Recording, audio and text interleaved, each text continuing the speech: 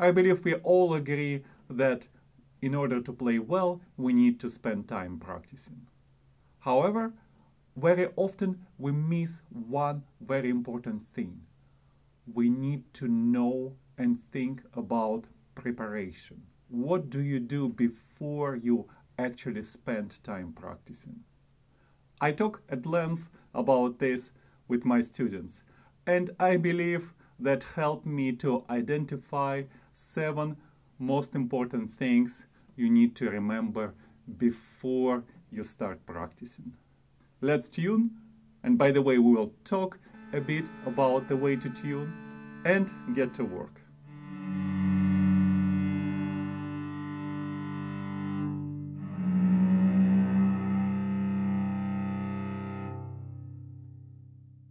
The first thing to do before you start practicing check your instrument. And it seems to be so obvious. Of course, I need to check my cello.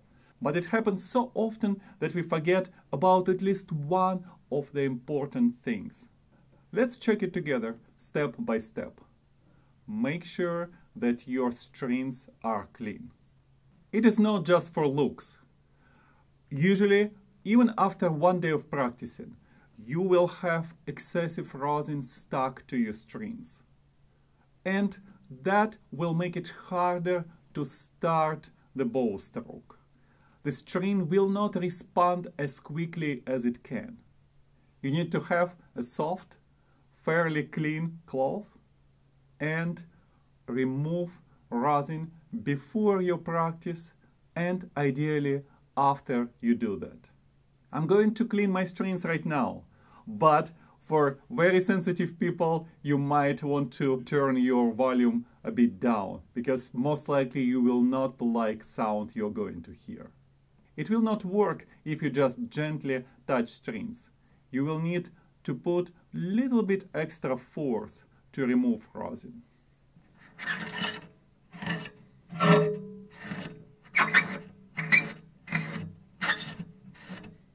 As I told you, it's not going to sound nice. But now it's done, and it's a good idea to clean the cello, the belly of the cello, and the fingerboard to get rid of all the rosin flakes which might fall on your cello.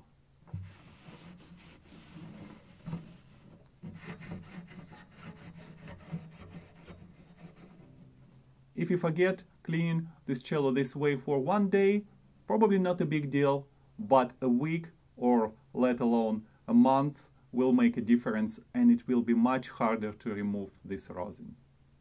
Your strings are now clean, there is no excessive rosin on them. That means you need to put some extra rosin on your bow. And my advice to do it right before you start practicing. If you do it every day, you don't have to do it a lot. Just gently rub the bowl against the cake and that will be enough. Don't worry, the rosin will spread along the hair and if there is a bit too much of rosin, don't worry, once you start playing, the excess of the rosin will quickly fall down. Now you are ready to start tuning your cello. And yes, you have to tune your cello every time before you play it. And very often you have to do it several times during a long practice session. We need to check an A with a tuner. Most of people tune it with A440. Of course, the cello A is one octave lower than that, so it will be 220. But uh, if you set your digital tuner to 440, that will definitely be exactly what you need.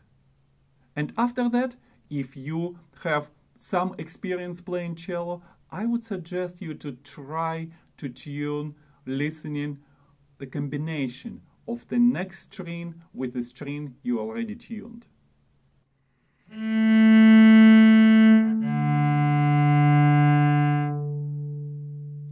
If you play string by string, it might sound just fine, but once you play them together,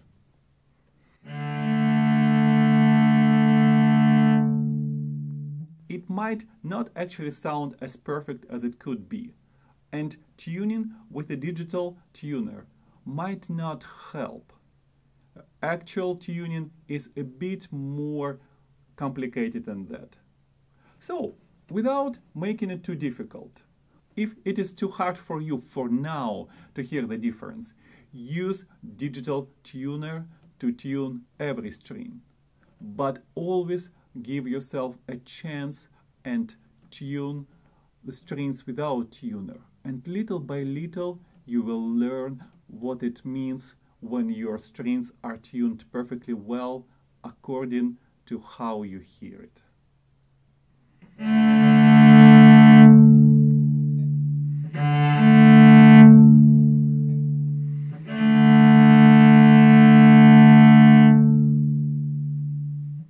Is such a beauty when you hear two strings tuned perfectly well. Now let's talk about our next step. You need to think about practice schedule. And it's not just about how much time you have to practice, but how you are going to use that time. First of all, it helps a lot if possible if you have regular time scheduled to practice. I know with your life schedule it's just impossible even to think about that, but you might still try to think how you can adjust your schedule because practicing at the same time has several benefits. You don't have to think about each practicing session. Should I practice or not? Do I feel energetic enough or not? It will become your habit. On top of that, the earlier practice in time proved to be the most beneficial. Of course, you think it's crazy. In the morning, it's hard to even make a cup of coffee. But whatever you can make in the morning, whatever you can achieve, usually stays much longer. On top of that, you know your worst case scenario.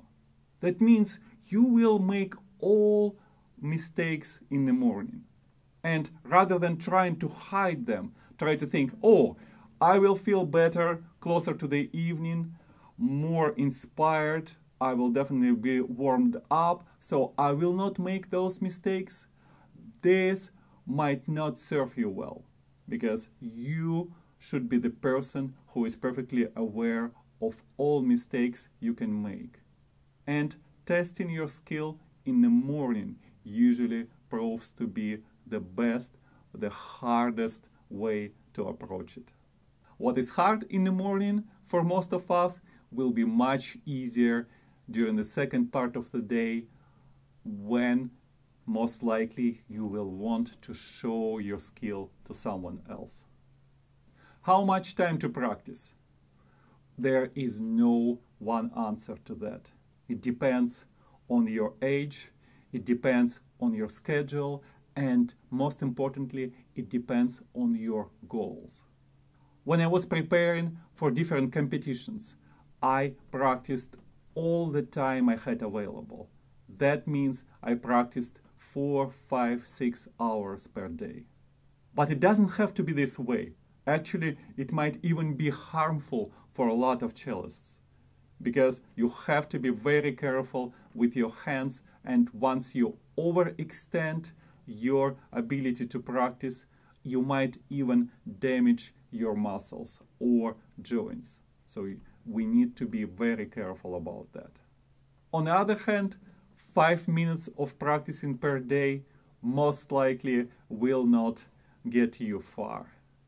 For most of the cellists who are not dreaming to become professional, practicing from half an hour to hour per day will work the best. We all want to play all of our favorite music. But no matter how much you are excited about your current project, make sure that you allocate at least 10 minutes of your practicing time for exercises, scales, arpeggios, and perhaps some of the etudes.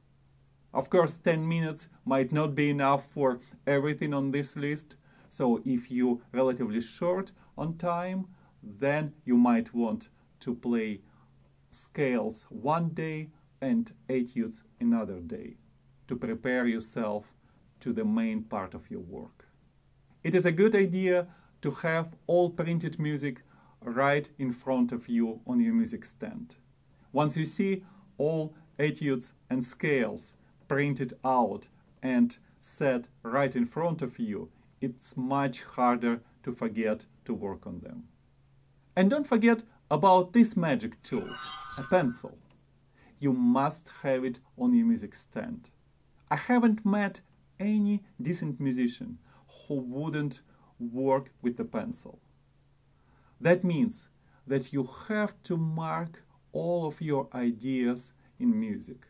Of course, it doesn't mean that you have to write a story in your music, but you might be able to add extra fingerings. You might be able sometimes to circle the stubborn spot you're working on. Draw all your attention to that spot. You might want to highlight dynamics. And perhaps sometimes to write a short note, which will help you to keep track of the progress and set your goals for your future practice session. Make sure that your hands are warm. Right before you start playing, make sure that you do basic exercises, rub your hands against each other, and when you start playing, start with something easy. And you will see that few minutes into practice session, you will feel that your fingers, your hands are ready to play. It is extremely helpful to set goals for each practice session. It doesn't have to be anything big, not to memorize entire concerto after one hour of work. But it has to be something like playing through the certain spot without making mistakes. And you might need to warm up before that, you might need to play it measure by measure, but then you need to test your ability to do that. And if you are not able to achieve your goal, that doesn't mean that you failed. That means you are in the process of achieving your goal and you need few more attempts to do it. Your possible goals might be to be able to play at a certain tempo with a metronome. You might want to memorize a certain spot, say half a page or page of the text. Or you might set a goal to play through the piece without feeling that your shoulder or your fingers are sore. Whichever goal you can think of is a good goal to have. And in my experience, all of those goals and many more are possible to achieve once you start thinking about them and including them in your practice session plan every time. Practicing, trying to achieve all those goals requires a lot of concentration. You don't want to be distracted. Ideally, your practice room has to be quiet, shielded from all distractions. But all of those distractions might not only come from outside, but they might bug you right here. Your phone is usually the worst enemy. If it's possible, turn it on a silent mode and put away. You need those minutes of uninterrupted time. Every time you hear a notification that you got an email or text, your concentration is gone. And it takes a lot of time to concentrate after that. And once you achieve that, there is another email you need to check. It is hard to break this habit, but it is possible. There is actually an amazing book by Cal Newport, which called Deep Work. If you haven't read it, I would highly recommend you to do that. To make it easier for you to find it, I put a link in the description of this video. I would strongly suggest you to get a tuner and metronome of old style, something like this. Because once you have it as a separate device, not on your phone, that means that you don't even have to think about your phone and all of your efforts are dedicated to practicing. If you are still here, that means you might be interested in exploring my cello courses. There are several courses to choose from, and if you like some of them, you might even get a special discount if you use that link in the description. And now, the last but crucially important thing. We often hear an advice that you need to listen to the piece you are going to learn. And there is a lot of wisdom in it.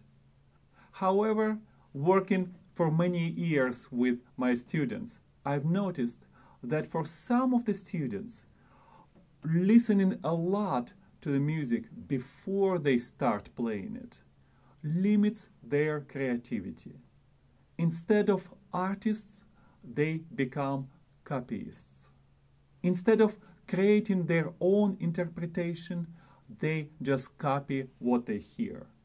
Actually, that was one of the reasons why I started Cellopedia channel, because my students would come to me and make terrible mistakes right from the beginning. And I had hard time correcting those mistakes until I asked, why you even making them? Don't you know how to count or how to make sound? And they would tell me, well, I spent time preparing. I listened to that or another video, which turned out to be of poor quality. And I learned that the most effective way to work with recordings is first to try to do it on your own. You just have printed music and you make a fair attempt to learn it. You spend one or two practice sessions just playing using what you see in front of you. And after you made a few decisions how to count, about tempo, about dynamics and style overall, then you might want to check with recordings. And of course it applies to listening to my recordings too. I hope you will make a fair effort to figure out how you're going to play and then check with my recordings and see what you can do to make your playing better.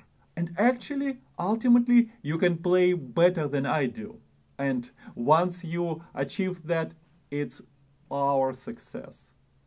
I hope you learned something new, or at least I helped you to rethink the way you're going to prepare to your practice sessions. Keep playing cello and come back to Cellopedia. Hello everyone, welcome to Cellopedia, this is Maxim. You watch this video, that most likely means that you play cello or you are interested in learning how to do that. That also means that you know what it takes to practice. For different people, practicing means a bit different thing.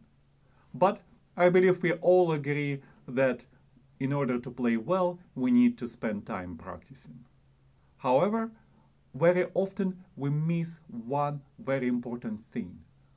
We need to know and think about preparation. What do you do before you actually spend time practicing?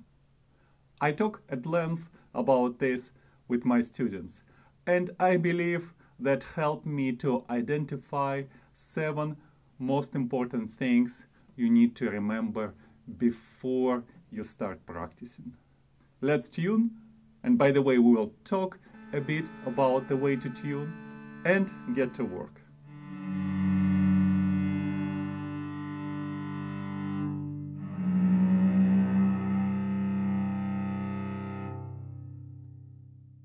The first thing to do before you start practicing, check your instrument.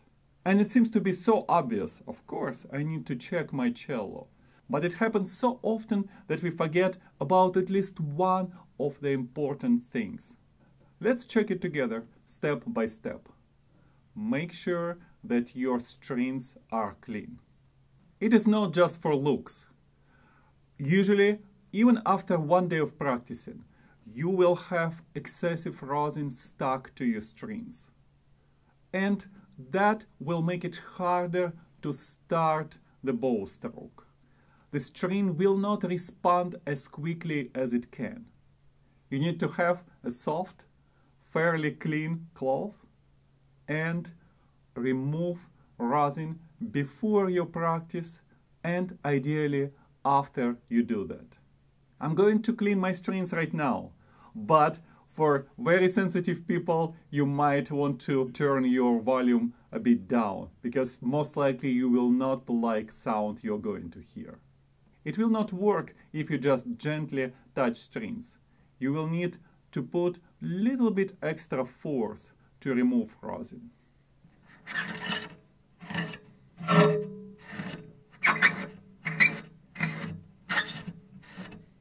As I told you, it's not going to sound nice. But now it's done, and it's a good idea to clean the cello, the belly of the cello, and the fingerboard to get rid of all the rosin flakes which might fall on your cello.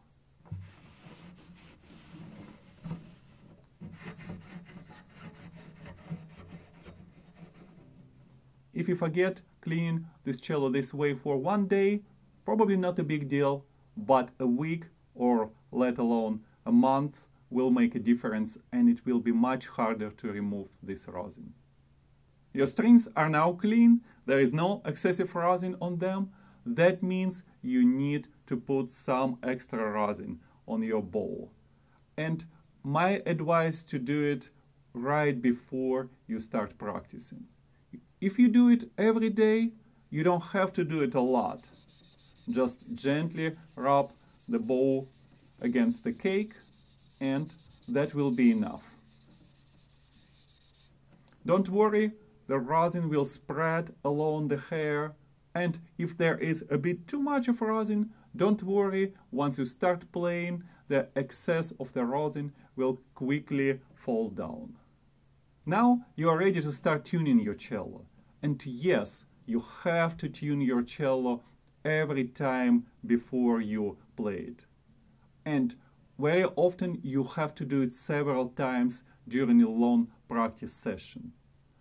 We need to check an A with a tuner. Most of people tune it with A440. Of course, the cello A is one octave lower than that, so it will be 220. But uh, if you set your digital tuner to 440, that will definitely be exactly what you need. And after that, if you have some experience playing cello, I would suggest you to try to tune listening the combination of the next string with the string you already tuned.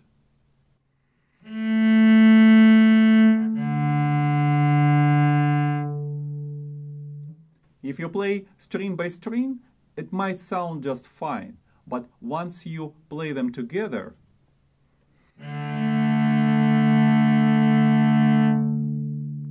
it might not actually sound as perfect as it could be.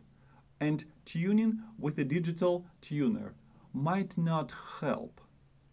Actual tuning is a bit more complicated than that. So, without making it too difficult, if it is too hard for you for now to hear the difference, use digital tuner to tune every string. But always give yourself a chance and tune the strings without tuner. And little by little, you will learn what it means when your strings are tuned perfectly well according to how you hear it.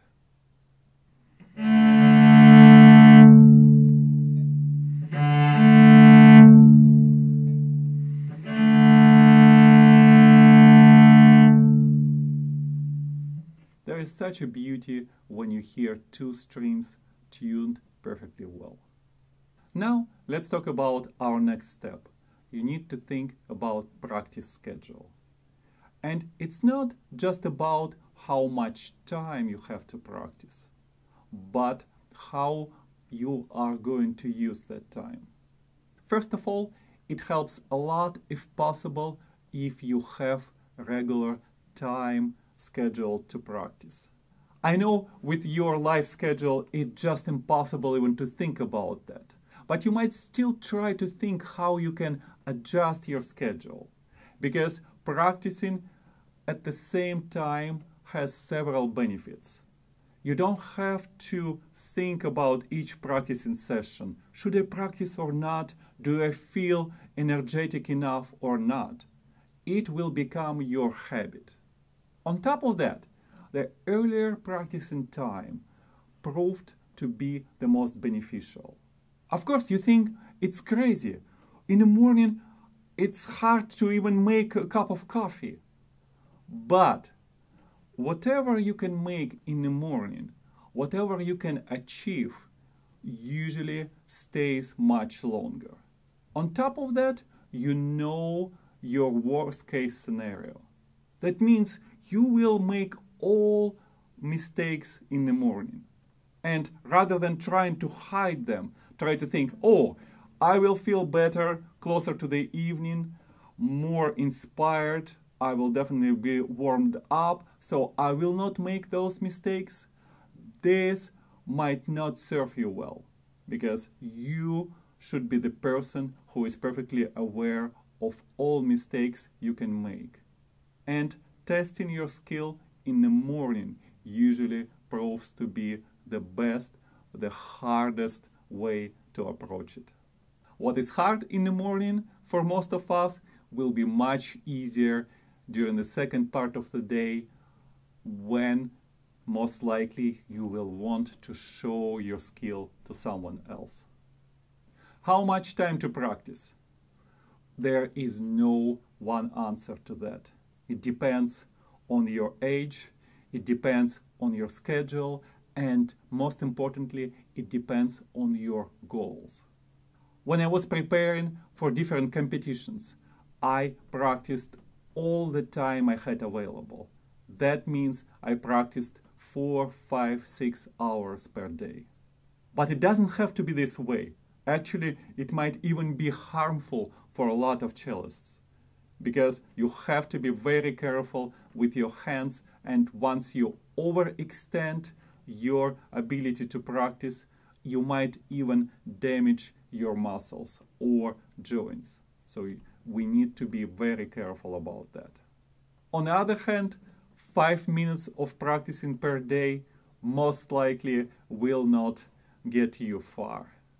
For most of the cellists who are not dreaming to become professional practicing from half an hour to hour per day will work the best. We all want to play all of our favorite music.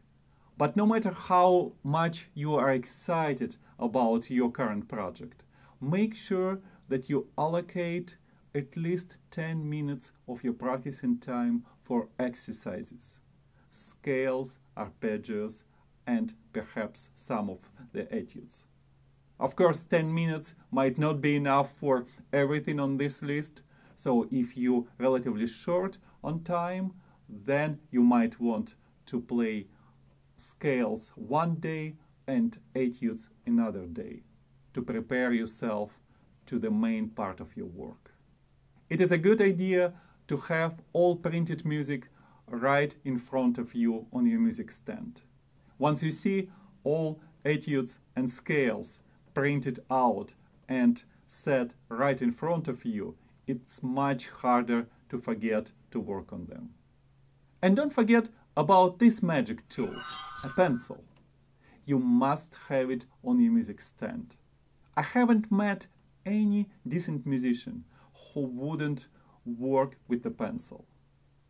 That means that you have to mark all of your ideas in music. Of course, it doesn't mean that you have to write a story in your music, but you might be able to add extra fingerings. You might be able sometimes to circle the stubborn spot you're working on, so to draw all your attention to that spot. You might want to highlight dynamics and perhaps sometimes to write a short note which will help you to keep track of the progress and set your goals for your future practice session. Make sure that your hands are warm.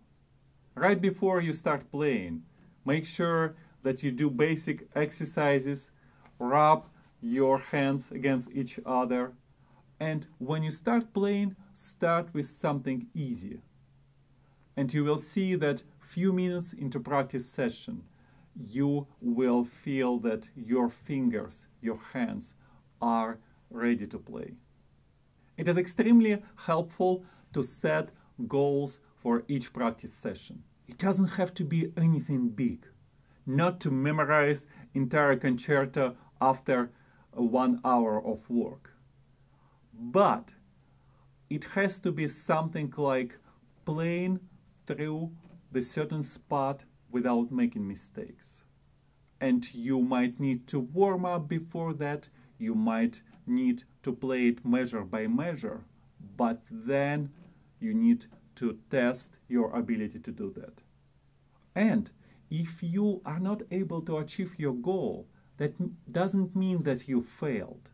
That means you are in the process of achieving your goal and you need few more attempts to do it. Your possible goals might be to be able to play at a certain tempo with a metronome. You might want to memorize a certain spot, say half a page or page of the text. Or you might set a goal to play through the piece without feeling that your shoulder or your fingers are sore. Whichever goal you can think of is a good goal to have. And in my experience, all of those goals and many more are possible to achieve once you start thinking about them and including them in your practice session plan every time. Practicing, trying to achieve all those goals requires a lot of concentration. You don't want to be distracted.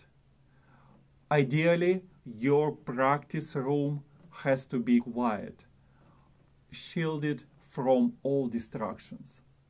But all of those distractions might not only come from outside, but they might bug you right here.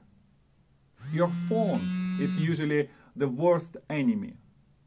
If it's possible, turn it on a silent mode and put away you need those minutes of uninterrupted time. Every time you hear a notification that you got an email or text, your concentration is gone. And it takes a lot of time to concentrate after that. And once you achieve that, there is another email you need to check. It is hard to break this habit, but it is possible. There is actually an amazing book by Cal Newport, which called Deep Work. If you haven't read it, I would highly recommend you to do that. To make it easier for you to find it, I put a link in the description of this video. I would strongly suggest you to get a tuner and metronome of old style, something like this.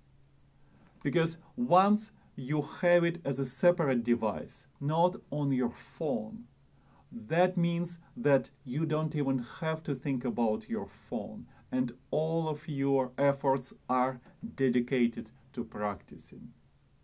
If you are still here, that means you might be interested in exploring my cello courses. There are several courses to choose from, and if you like some of them, you might even get a special discount if you use that link in the description. And now, the last but crucially important thing. We often hear an advice that you need to listen to the piece you are going to learn. And there is a lot of wisdom in it. However, working for many years with my students, I've noticed that for some of the students, listening a lot to the music before they start playing it limits their creativity. Instead of artists, they become copyists. Instead of creating their own interpretation, they just copy what they hear. Actually, that was one of the reasons why I started Cellopedia channel because my students would come to me and make terrible mistakes right from the beginning. And I had hard time correcting those mistakes until I asked, why you even making them? Don't you know how to count or how to make sound? And they would tell me, well, I spent time preparing. I listened to that or another video, which turned out to be of poor quality. And I learned that the most effective way to work with recordings is first to try to do it on your own. You just have printed music and you make a fair attempt to learn it. You spend one or two practice sessions just playing using what you see in front of you. And after you made a few decisions how to count, about tempo, about dynamics and style overall, then you might want to check with recordings. And of course it applies to listening to my recordings too. I hope you will make a fair effort to figure out how you're going to play and then check with my recordings and see what you can do to make your playing better. And actually, ultimately, you can play better than I do. And once you achieve that, it's our success. I hope you learned something new, or at least I helped you to rethink the way you're going to prepare to your practice sessions. Keep playing cello and come back to Cellopedia. Hello everyone, welcome to Cellopedia, this is Maxim. You watch this video, that most likely means that you play cello or you are interested in learning how to do that. That also means that you know what it takes to practice. For different people, practicing means a bit different thing. But I believe we all agree that in order to play well, we need to spend time practicing. However, very often we miss one very important thing. We need to know and think about preparation. What do you do before you actually spend time practicing? I talk at length about this with my students, and I believe that helped me to identify seven most important things you need to remember before you start practicing. Let's tune, and by the way, we will talk a bit about the way to tune and get to work.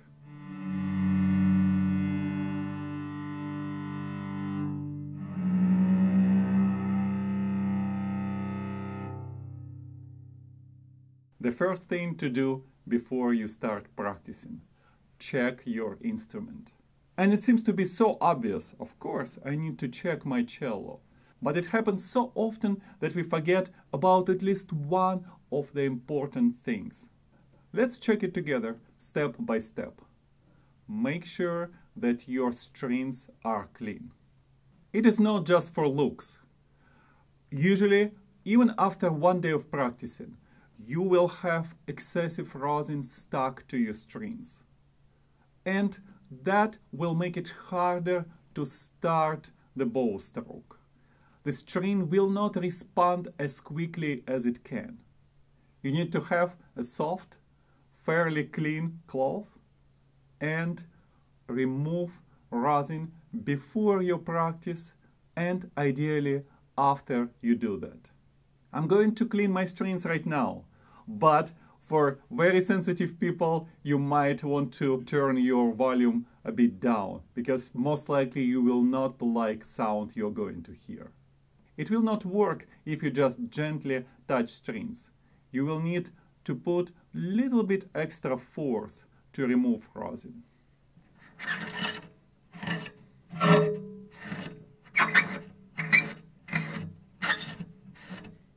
As I told you, it's not going to sound nice. But now it's done, and it's a good idea to clean the cello, the belly of the cello, and the fingerboard to get rid of all the rosin flakes which might fall on your cello.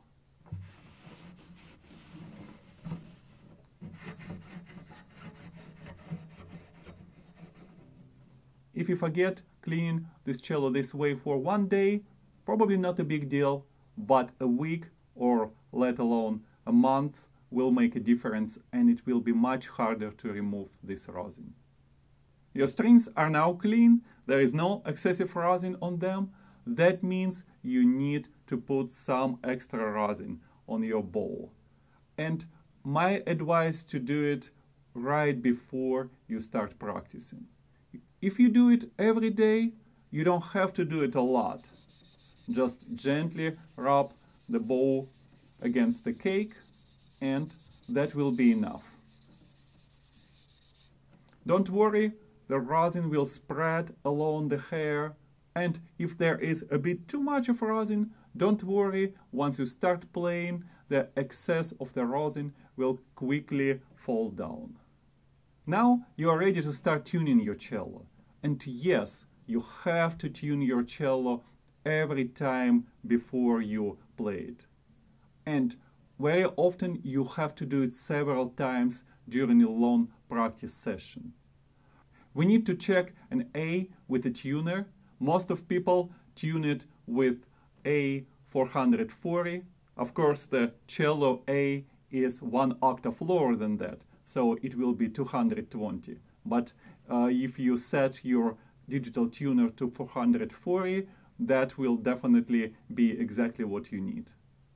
And after that, if you have some experience playing cello, I would suggest you to try to tune listening the combination of the next string with the string you already tuned.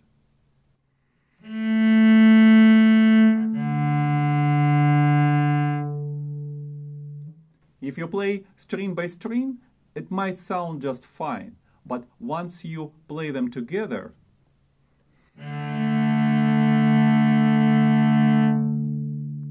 it might not actually sound as perfect as it could be. And tuning with a digital tuner might not help.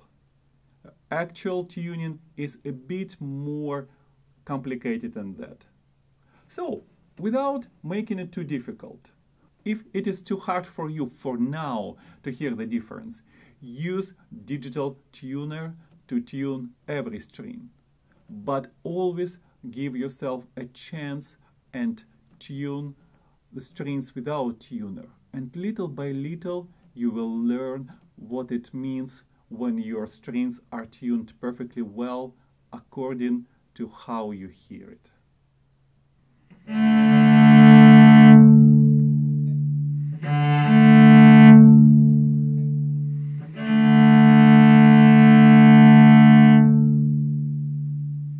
There is such a beauty when you hear two strings tuned perfectly well. Now let's talk about our next step. You need to think about practice schedule. And it's not just about how much time you have to practice, but how you are going to use that time. First of all, it helps a lot if possible if you have regular time schedule to practice. I know with your life schedule, it's just impossible even to think about that. But you might still try to think how you can adjust your schedule.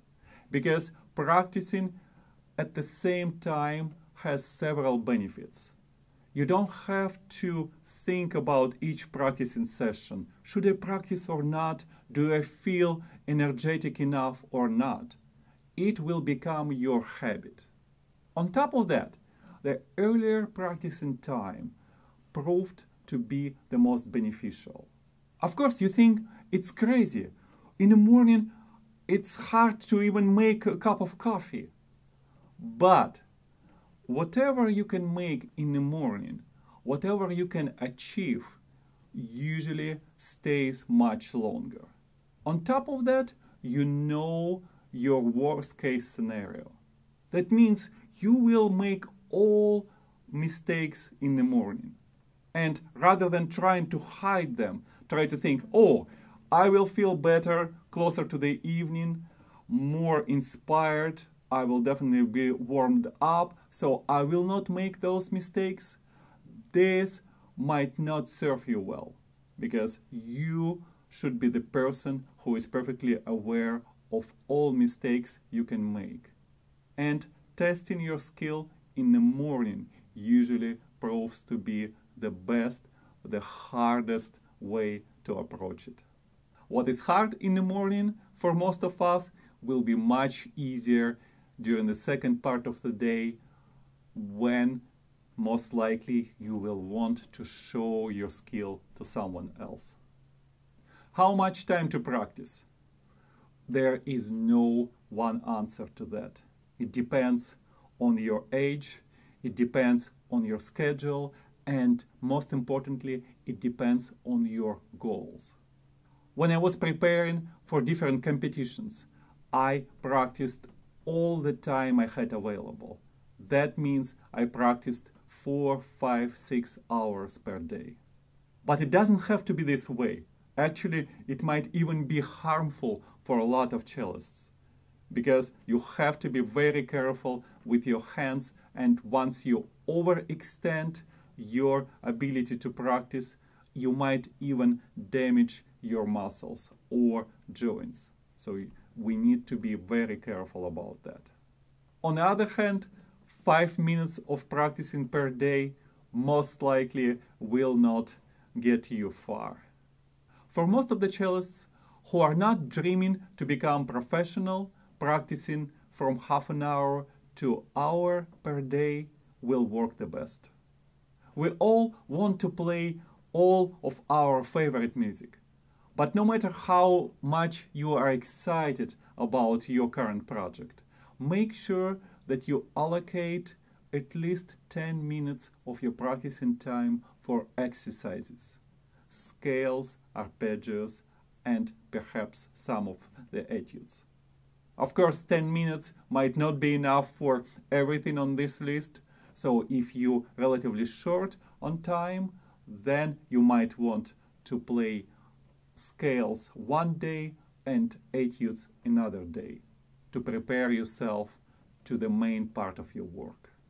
It is a good idea to have all printed music right in front of you on your music stand. Once you see all etudes and scales printed out and set right in front of you, it's much harder to forget to work on them. And don't forget about this magic tool, a pencil. You must have it on your music stand. I haven't met any decent musician who wouldn't work with a pencil. That means that you have to mark all of your ideas in music. Of course, it doesn't mean that you have to write a story in your music, but you might be able to add extra fingerings. You might be able sometimes to circle the stubborn spot you're working on, so to draw all your attention to that spot. You might want to highlight dynamics and perhaps sometimes to write a short note which will help you to keep track of the progress and set your goals for your future practice session.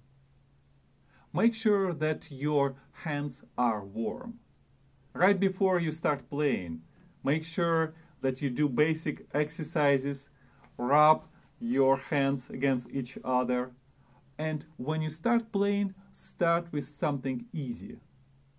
And you will see that few minutes into practice session, you will feel that your fingers, your hands are ready to play.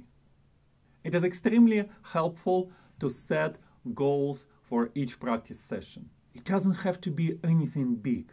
Not to memorize entire concerto after one hour of work. But it has to be something like playing through the certain spot without making mistakes. And you might need to warm up before that, you might need to play it measure by measure, but then you need to test your ability to do that. And if you are not able to achieve your goal, that doesn't mean that you failed. That means you are in the process of achieving your goal and you need few more attempts to do it. Your possible goals might be to be able to play at a certain tempo with a metronome. You might want to memorize a certain spot, say half a page or page of the text. Or you might set a goal to play through the piece without feeling that your shoulder or your fingers are sore. Whichever goal you can think of is a good goal to have. And in my experience, all of those goals and many more are possible to achieve once you start thinking about them and including them in your practice session plan every time. Practicing, trying to achieve all those goals requires a lot of concentration. You don't want to be distracted. Ideally, your practice room has to be quiet, shielded from all distractions. But all of those distractions might not only come from outside, but they might bug you right here. Your phone is usually the worst enemy. If it's possible, turn it on a silent mode and put away. You need those minutes of uninterrupted time. Every time you hear a notification that you got an email or text, your concentration is gone. And it takes a lot of time to concentrate after that. And once you achieve that, there is another email you need to check. It is hard to break this habit, but it is possible. There is actually an amazing book by Cal Newport which called Deep Work. If you haven't read it, I would highly recommend you to do that. To make it easier for you to find it, I put a link in the description of this video. I would strongly suggest you to get a tuner and metronome of old style, something like this. Because once you have it as a separate device, not on your phone, that means that you don't even have to think about your phone and all of your efforts are dedicated to practicing. If you are still here, that means you might be interested in exploring my cello courses. There are several courses to choose from, and if you like some of them, you might even get a special discount if you use that link in the description.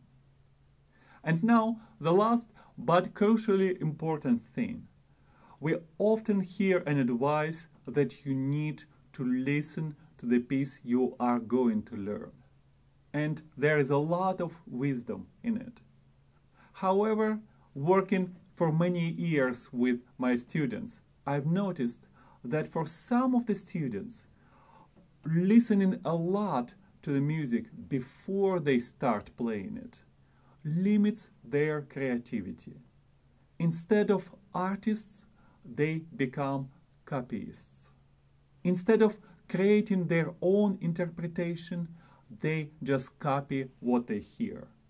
Actually, that was one of the reasons why I started Cellopedia channel, because my students would come to me and make terrible mistakes right from the beginning. And I had hard time correcting those mistakes until I asked, why you even making them? Don't you know how to count or how to make sound?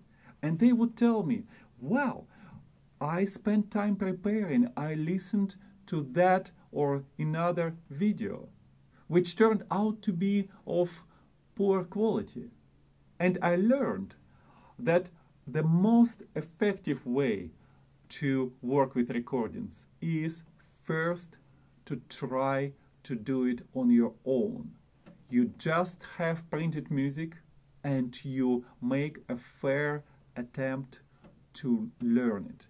You spend one or two practice sessions just playing using what you see in front of you. And after you made a few decisions how to count, about tempo, about dynamics and style overall, then you might want to check with recordings.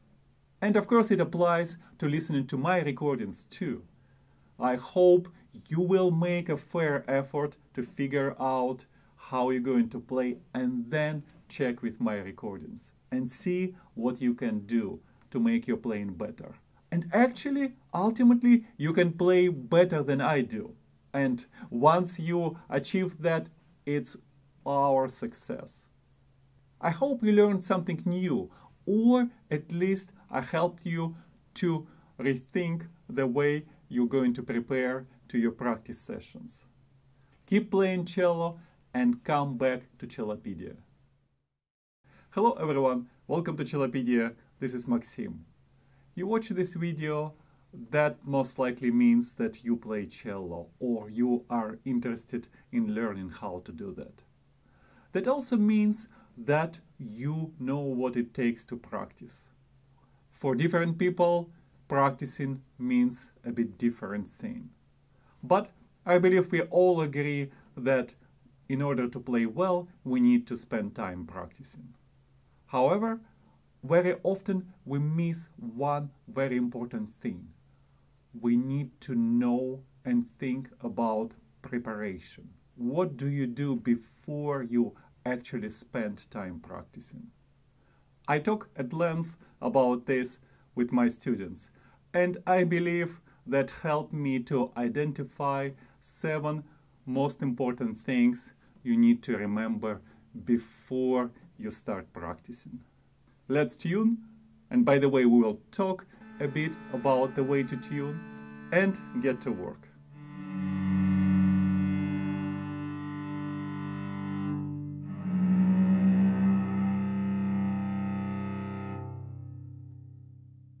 The first thing to do before you start practicing, check your instrument. And it seems to be so obvious, of course, I need to check my cello. But it happens so often that we forget about at least one of the important things. Let's check it together, step by step. Make sure that your strings are clean. It is not just for looks. Usually, even after one day of practicing, you will have excessive rosin stuck to your strings. And that will make it harder to start the bow stroke. The string will not respond as quickly as it can. You need to have a soft, fairly clean cloth and remove rosin before you practice and ideally after you do that. I'm going to clean my strings right now but for very sensitive people, you might want to turn your volume a bit down because most likely you will not like sound you're going to hear. It will not work if you just gently touch strings. You will need to put a little bit extra force to remove rosin.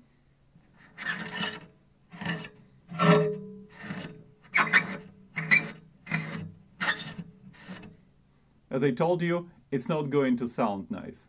But now it's done, and it's a good idea to clean the cello, the belly of the cello, and the fingerboard to get rid of all the rosin flakes which might fall on your cello.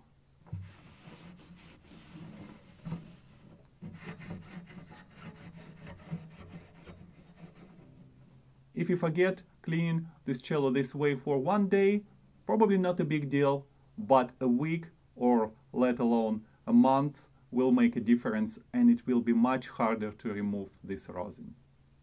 Your strings are now clean, there is no excessive rosin on them. That means you need to put some extra rosin on your bow. And my advice to do it right before you start practicing. If you do it every day, you don't have to do it a lot. Just gently rub the bow against the cake and that will be enough. Don't worry, the rosin will spread along the hair and if there is a bit too much of rosin, don't worry, once you start playing, the excess of the rosin will quickly fall down. Now you are ready to start tuning your cello. And yes, you have to tune your cello every time before you play it. And very often you have to do it several times during a long practice session. We need to check an A with a tuner. Most of people tune it with A440. Of course, the cello A is one octave lower than that, so it will be 220. But uh, if you set your digital tuner to 440, that will definitely be exactly what you need. And after that, if you have some experience playing cello, I would suggest you to try to tune listening the combination of the next string with the string you already tuned.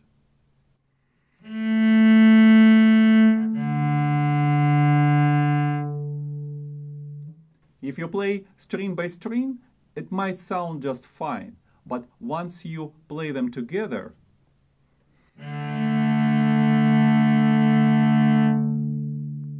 it might not actually sound as perfect as it could be. And tuning with a digital tuner might not help. Actual tuning is a bit more complicated than that. So, without making it too difficult, if it is too hard for you for now to hear the difference, use digital tuner to tune every string. But always give yourself a chance and tune the strings without tuner. And little by little, you will learn what it means when your strings are tuned perfectly well according to how you hear it.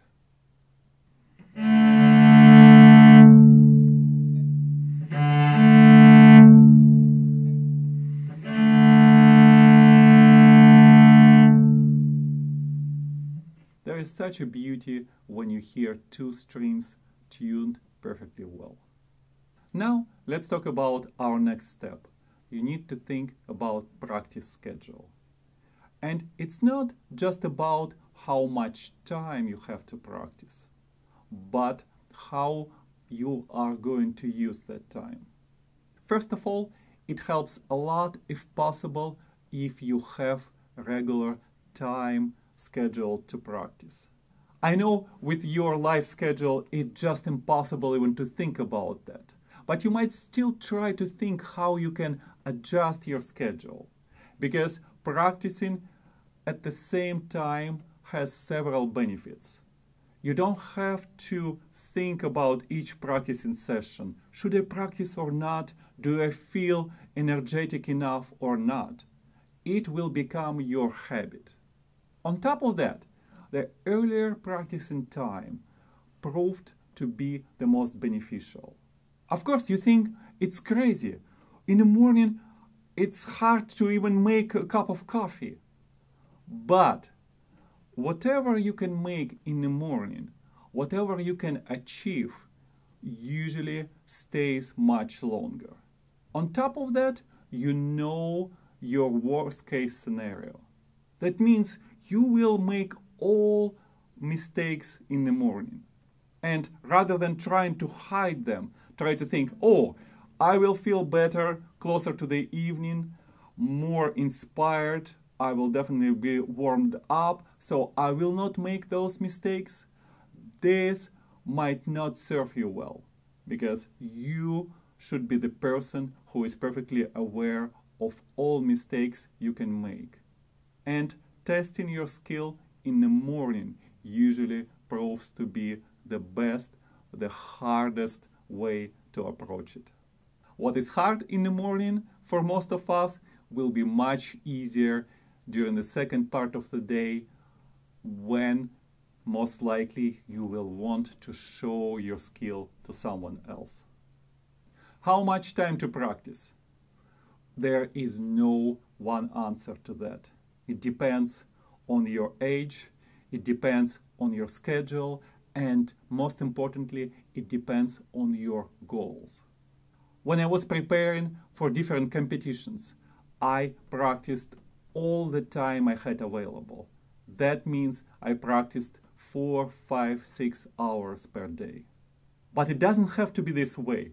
Actually, it might even be harmful for a lot of cellists because you have to be very careful with your hands and once you overextend your ability to practice, you might even damage your muscles or joints. So we need to be very careful about that. On the other hand, five minutes of practicing per day most likely will not get you far.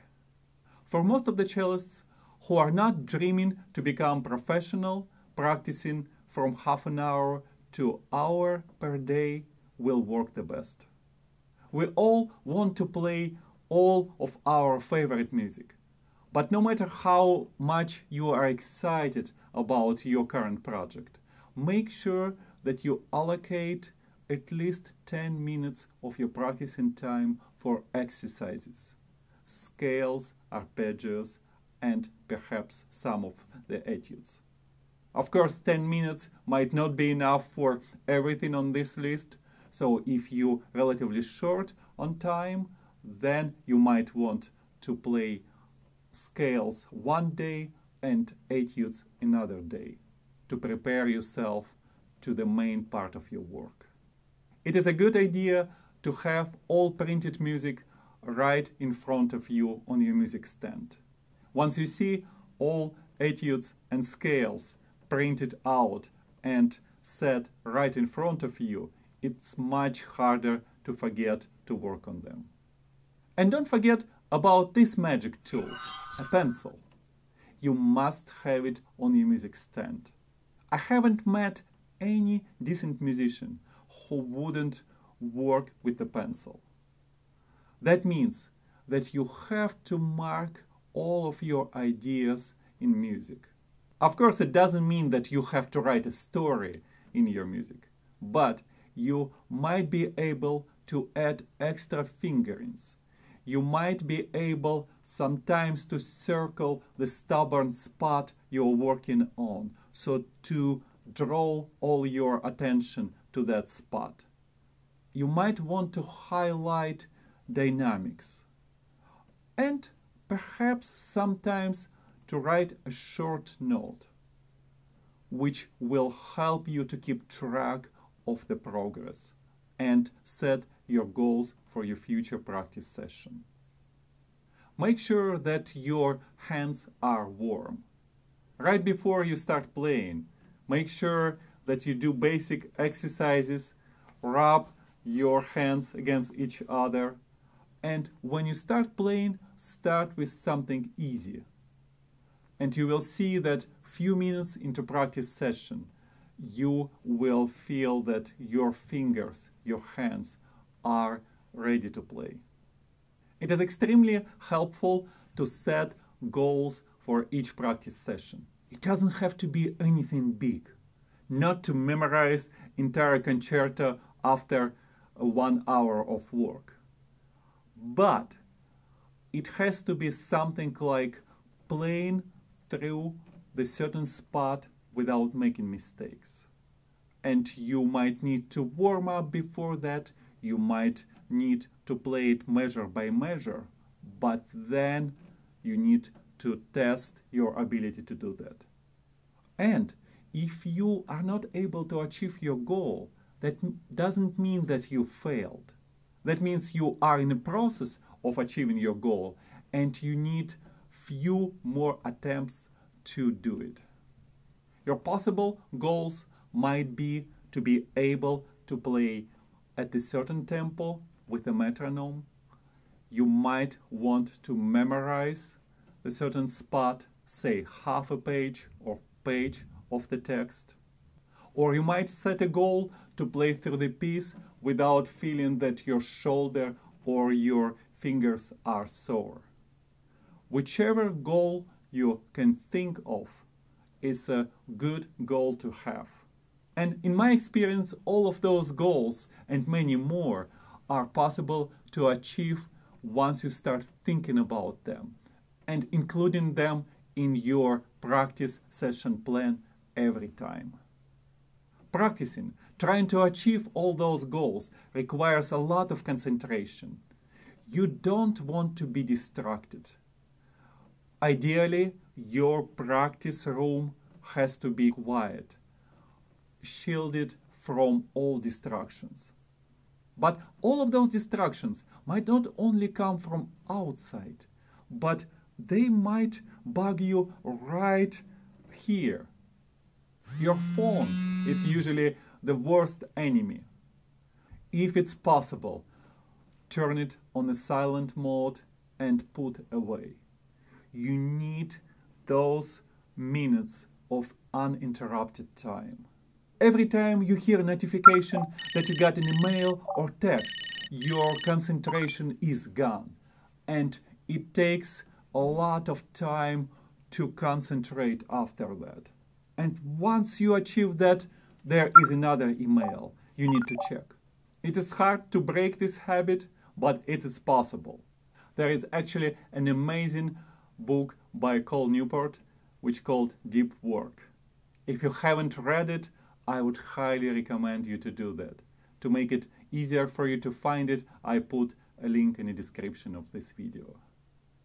I would strongly suggest you to get a tuner and metronome of old style, something like this. Because once you have it as a separate device, not on your phone, that means that you don't even have to think about your phone and all of your efforts are dedicated to practicing. If you are still here, that means you might be interested in exploring my cello courses. There are several courses to choose from, and if you like some of them, you might even get a special discount if you use that link in the description. And now, the last but crucially important thing. We often hear an advice that you need to listen to the piece you are going to learn. And there is a lot of wisdom in it. However, working for many years with my students, I've noticed that for some of the students, listening a lot to the music before they start playing it limits their creativity. Instead of artists, they become copyists. Instead of creating their own interpretation, they just copy what they hear. Actually, that was one of the reasons why I started Cellopedia channel because my students would come to me and make terrible mistakes right from the beginning. And I had hard time correcting those mistakes until I asked, why you even making them? Don't you know how to count or how to make sound? And they would tell me, well, I spent time preparing. I listened to that or another video, which turned out to be of poor quality. And I learned that the most effective way to work with recordings is first to try to do it on your own. You just have printed music and you make a fair attempt to learn it. You spend one or two practice sessions just playing using what you see in front of you. And after you made a few decisions how to count, about tempo, about dynamics and style overall, then you might want to check with recordings. And of course, it applies to listening to my recordings too. I hope you will make a fair effort to figure out how you're going to play and then check with my recordings and see what you can do to make your playing better. And actually, ultimately, you can play better than I do. And once you achieve that, it's our success. I hope you learned something new, or at least I helped you to rethink the way you're going to prepare to your practice sessions. Keep playing cello and come back to Cellopedia. Hello everyone, welcome to Cellopedia, this is Maxim. You watch this video, that most likely means that you play cello or you are interested in learning how to do that. That also means that you know what it takes to practice. For different people, practicing means a bit different thing. But I believe we all agree that in order to play well, we need to spend time practicing. However, very often we miss one very important thing. We need to know and think about preparation. What do you do before you actually spend time practicing? I talk at length about this with my students, and I believe that helped me to identify seven most important things you need to remember before you start practicing. Let's tune, and by the way, we will talk a bit about the way to tune and get to work.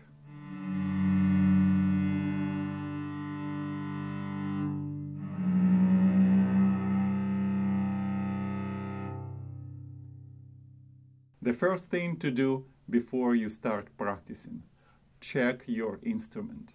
And it seems to be so obvious, of course, I need to check my cello. But it happens so often that we forget about at least one of the important things. Let's check it together, step by step. Make sure that your strings are clean. It is not just for looks. Usually, even after one day of practicing, you will have excessive rosin stuck to your strings. And that will make it harder to start the bow stroke. The string will not respond as quickly as it can. You need to have a soft, fairly clean cloth and remove rosin before you practice and ideally after you do that. I'm going to clean my strings right now but for very sensitive people, you might want to turn your volume a bit down because most likely you will not like sound you're going to hear. It will not work if you just gently touch strings. You will need to put a little bit extra force to remove rosin.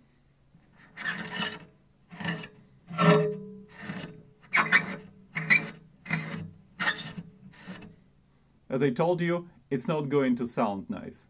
But now it's done, and it's a good idea to clean the cello, the belly of the cello, and the fingerboard to get rid of all the rosin flakes which might fall on your cello.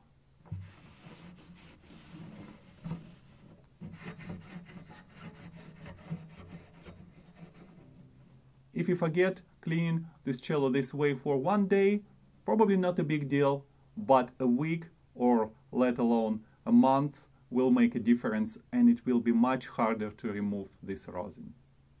Your strings are now clean, there is no excessive rosin on them. That means you need to put some extra rosin on your bow. And my advice to do it right before you start practicing. If you do it every day, you don't have to do it a lot.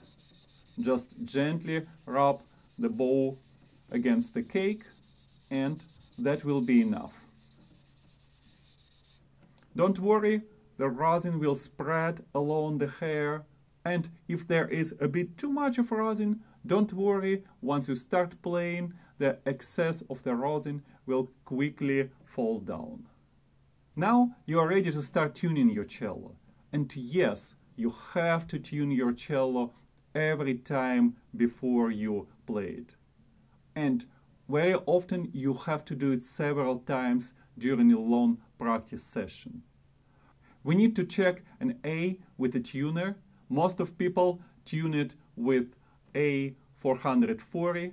Of course, the cello A is one octave lower than that, so it will be 220. But uh, if you set your digital tuner to 440, that will definitely be exactly what you need. And after that, if you have some experience playing cello, I would suggest you to try to tune listening the combination of the next string with the string you already tuned.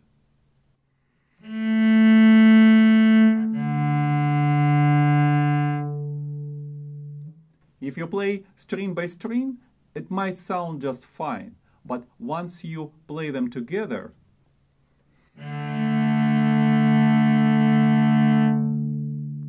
it might not actually sound as perfect as it could be. And tuning with a digital tuner might not help. Actual tuning is a bit more complicated than that. So, without making it too difficult. If it is too hard for you for now to hear the difference, use digital tuner to tune every string. But always give yourself a chance and tune the strings without tuner. And little by little, you will learn what it means when your strings are tuned perfectly well according to how you hear it.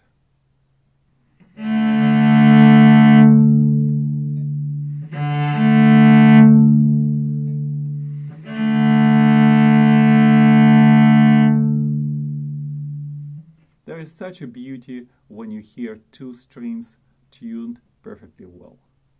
Now let's talk about our next step. You need to think about practice schedule.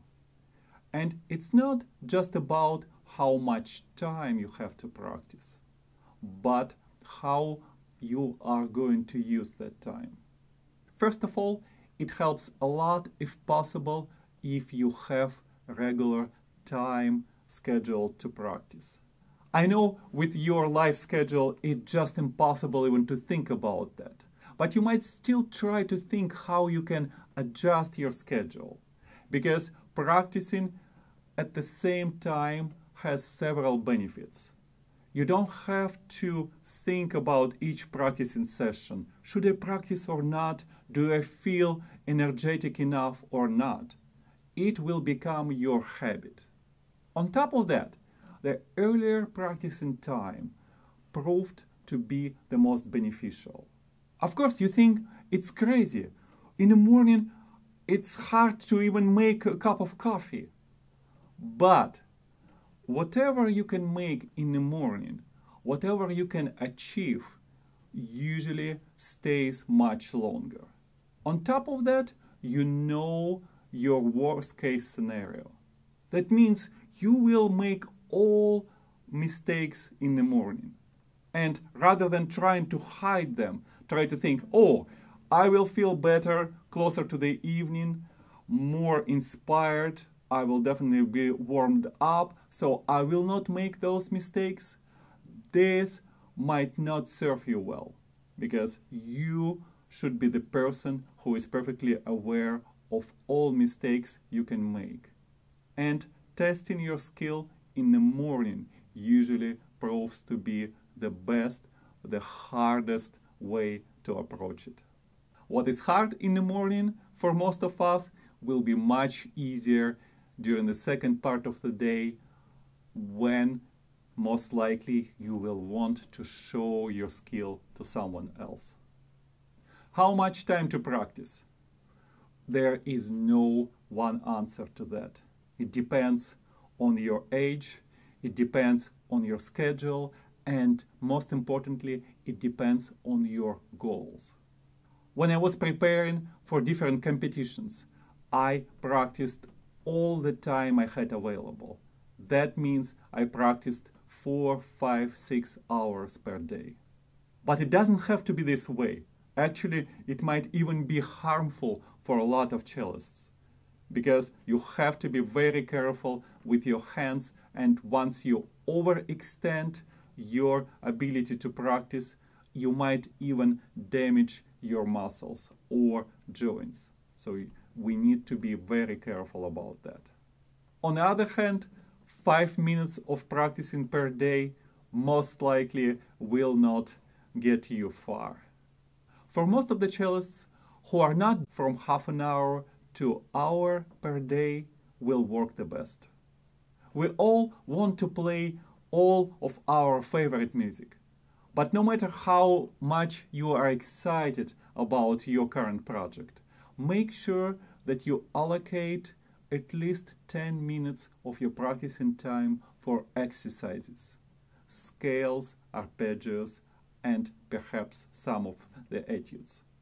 Of course, 10 minutes might not be enough for everything on this list, so if you relatively short on time, then you might want to play scales one day and etudes another day to prepare yourself to the main part of your work.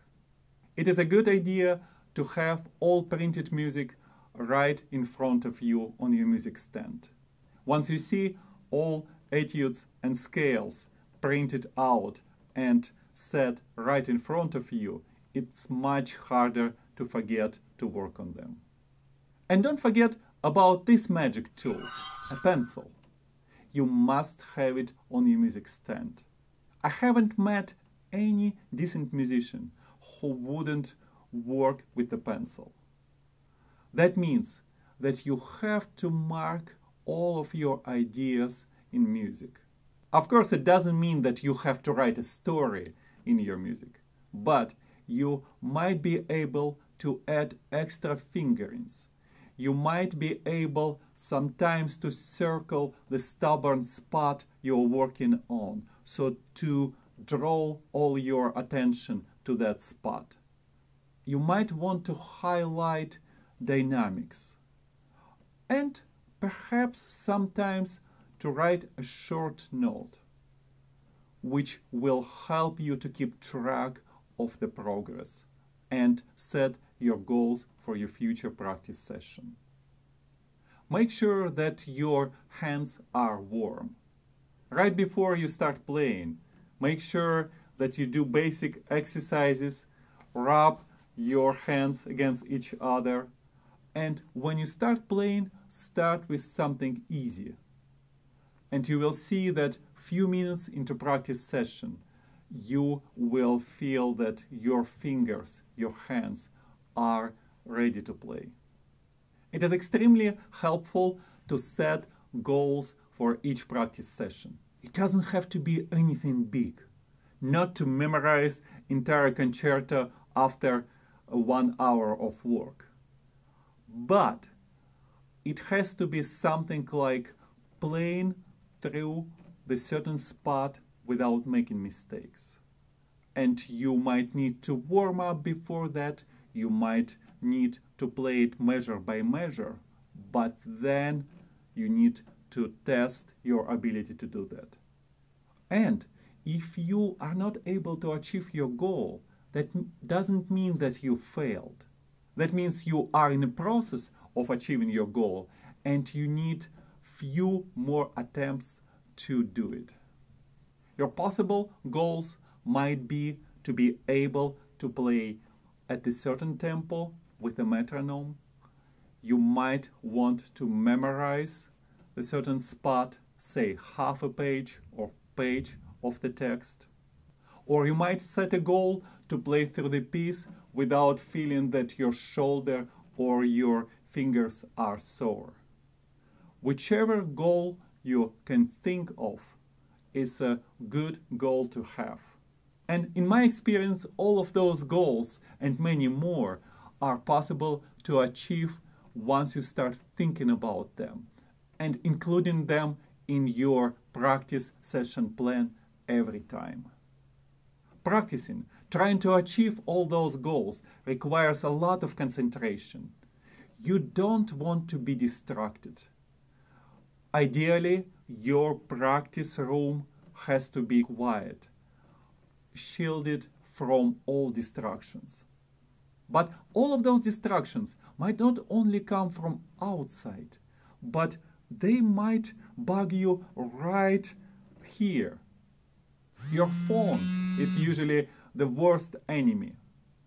If it's possible, turn it on a silent mode and put away. You need those minutes of uninterrupted time.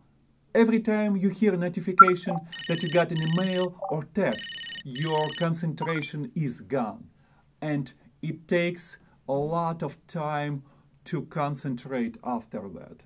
And once you achieve that, there is another email you need to check. It is hard to break this habit, but it is possible. There is actually an amazing book by Cal Newport which called Deep Work. If you haven't read it, I would highly recommend you to do that. To make it easier for you to find it, I put a link in the description of this video. I would strongly suggest you to get a tuner and metronome of old style, something like this. Because once you have it as a separate device, not on your phone, that means that you don't even have to think about your phone and all of your efforts are dedicated to practicing. If you are still here, that means you might be interested in exploring my cello courses. There are several courses to choose from, and if you like some of them, you might even get a special discount if you use that link in the description. And now, the last but crucially important thing. We often hear an advice that you need to listen to the piece you are going to learn. And there is a lot of wisdom in it. However, working for many years with my students, I've noticed that for some of the students, listening a lot to the music before they start playing it limits their creativity. Instead of artists, they become copyists. Instead of creating their own interpretation, they just copy what they hear. Actually, that was one of the reasons why I started Cellopedia channel, because my students would come to me and make terrible mistakes right from the beginning. And I had hard time correcting those mistakes until I asked, why you even making them? Don't you know how to count or how to make sound? And they would tell me, well, I spent time preparing. I listened to that or another video, which turned out to be of poor quality. And I learned that the most effective way to work with recordings is first to try to do it on your own. You just have printed music and you make a fair attempt to learn it. You spend one or two practice sessions just playing using what you see in front of you. And after you made a few decisions how to count, about tempo, about dynamics and style overall, then you might want to check with recordings. And of course it applies to listening to my recordings too. I hope you will make a fair effort to figure out how you're going to play and then check with my recordings and see what you can do to make your playing better. And actually, ultimately, you can play better than I do. And once you achieve that, it's our success. I hope you learned something new, or at least I helped you to rethink the way you're going to prepare to your practice sessions. Keep playing cello and come back to Cellopedia. Hello everyone, welcome to Cellopedia, this is Maxim. You watch this video that most likely means that you play cello or you are interested in learning how to do that. That also means that you know what it takes to practice. For different people, practicing means a bit different thing. But I believe we all agree that in order to play well, we need to spend time practicing. However, very often we miss one very important thing we need to know and think about preparation. What do you do before you actually spend time practicing? I talk at length about this with my students, and I believe that helped me to identify seven most important things you need to remember before you start practicing. Let's tune And by the way, we will talk a bit about the way to tune and get to work.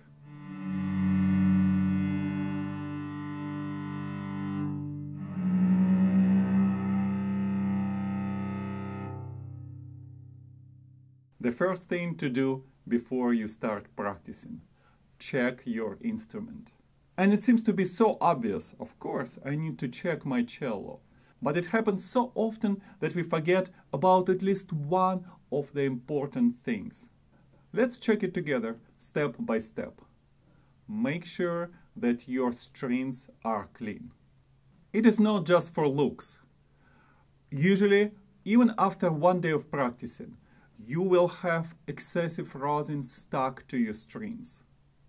And that will make it harder to start the bow stroke. The string will not respond as quickly as it can.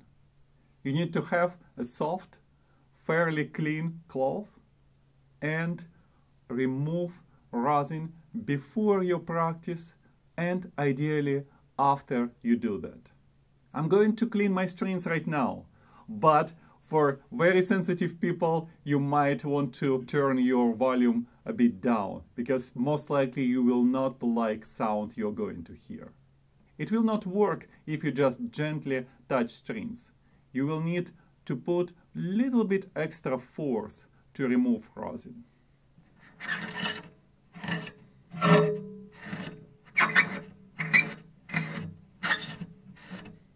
As I told you, it's not going to sound nice.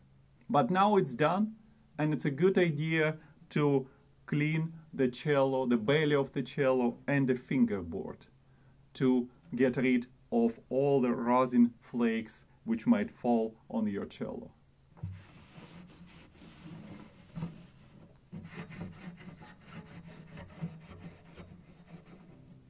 If you forget cleaning this cello this way for one day, probably not a big deal, but a week or let alone a month will make a difference and it will be much harder to remove this rosin.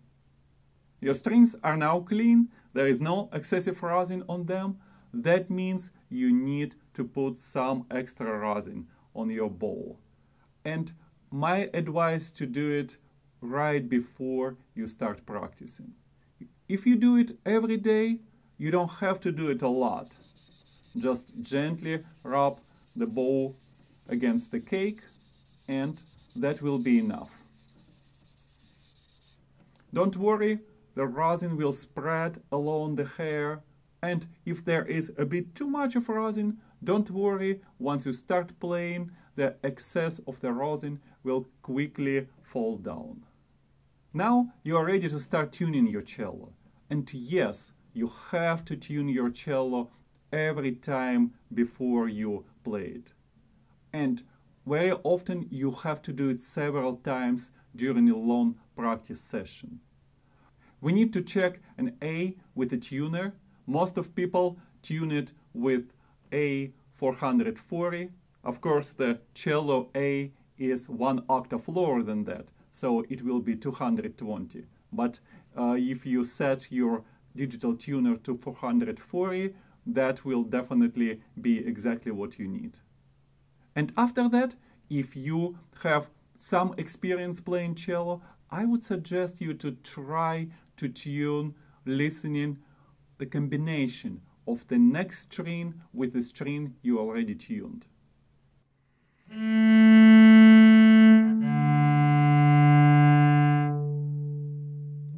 If you play string by string, it might sound just fine, but once you play them together,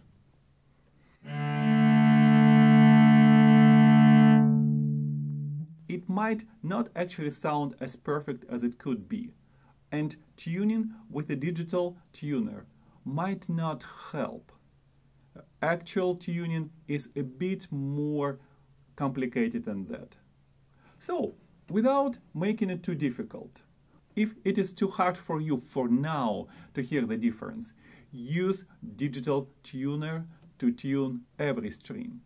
But always give yourself a chance and tune the strings without tuner. And little by little, you will learn what it means when your strings are tuned perfectly well according to how you hear it.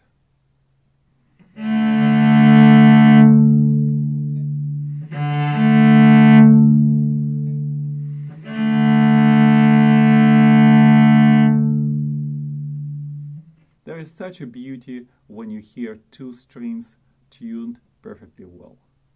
Now let's talk about our next step. You need to think about practice schedule.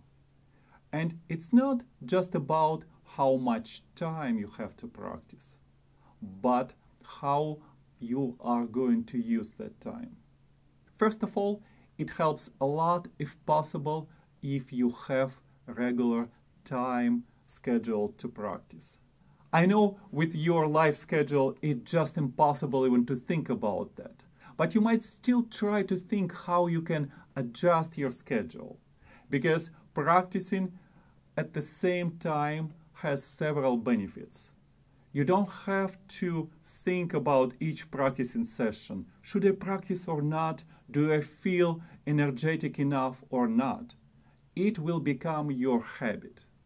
On top of that, the earlier practice in time proved to be the most beneficial. Of course, you think it's crazy. In the morning, it's hard to even make a cup of coffee. But whatever you can make in the morning, whatever you can achieve, usually stays much longer. On top of that, you know your worst case scenario. That means you will make all mistakes in the morning. And rather than trying to hide them, try to think, oh, I will feel better closer to the evening, more inspired. I will definitely be warmed up, so I will not make those mistakes. This might not serve you well because you should be the person who is perfectly aware of all mistakes you can make. And testing your skill in the morning usually proves to be the best, the hardest way to approach it. What is hard in the morning for most of us will be much easier during the second part of the day when most likely you will want to show your skill to someone else. How much time to practice? There is no one answer to that. It depends on your age, it depends on your schedule, and most importantly, it depends on your goals. When I was preparing for different competitions, I practiced all the time I had available. That means I practiced four, five, six hours per day. But it doesn't have to be this way. Actually, it might even be harmful for a lot of cellists because you have to be very careful with your hands and once you overextend your ability to practice, you might even damage your muscles or joints. So we need to be very careful about that. On the other hand, five minutes of practicing per day most likely will not get you far. For most of the cellists who are not dreaming to become professional, practicing from half an hour to hour per day will work the best. We all want to play all of our favorite music. But no matter how much you are excited about your current project, make sure that you allocate at least 10 minutes of your practicing time for exercises, scales, arpeggios, and perhaps some of the etudes. Of course, 10 minutes might not be enough for everything on this list, so if you're relatively short on time, then you might want to play scales one day and etudes another day to prepare yourself to the main part of your work. It is a good idea to have all printed music right in front of you on your music stand. Once you see all etudes and scales printed out and set right in front of you, it's much harder to forget to work on them. And don't forget about this magic tool, a pencil. You must have it on your music stand. I haven't met any decent musician who wouldn't work with a pencil. That means that you have to mark all of your ideas in music.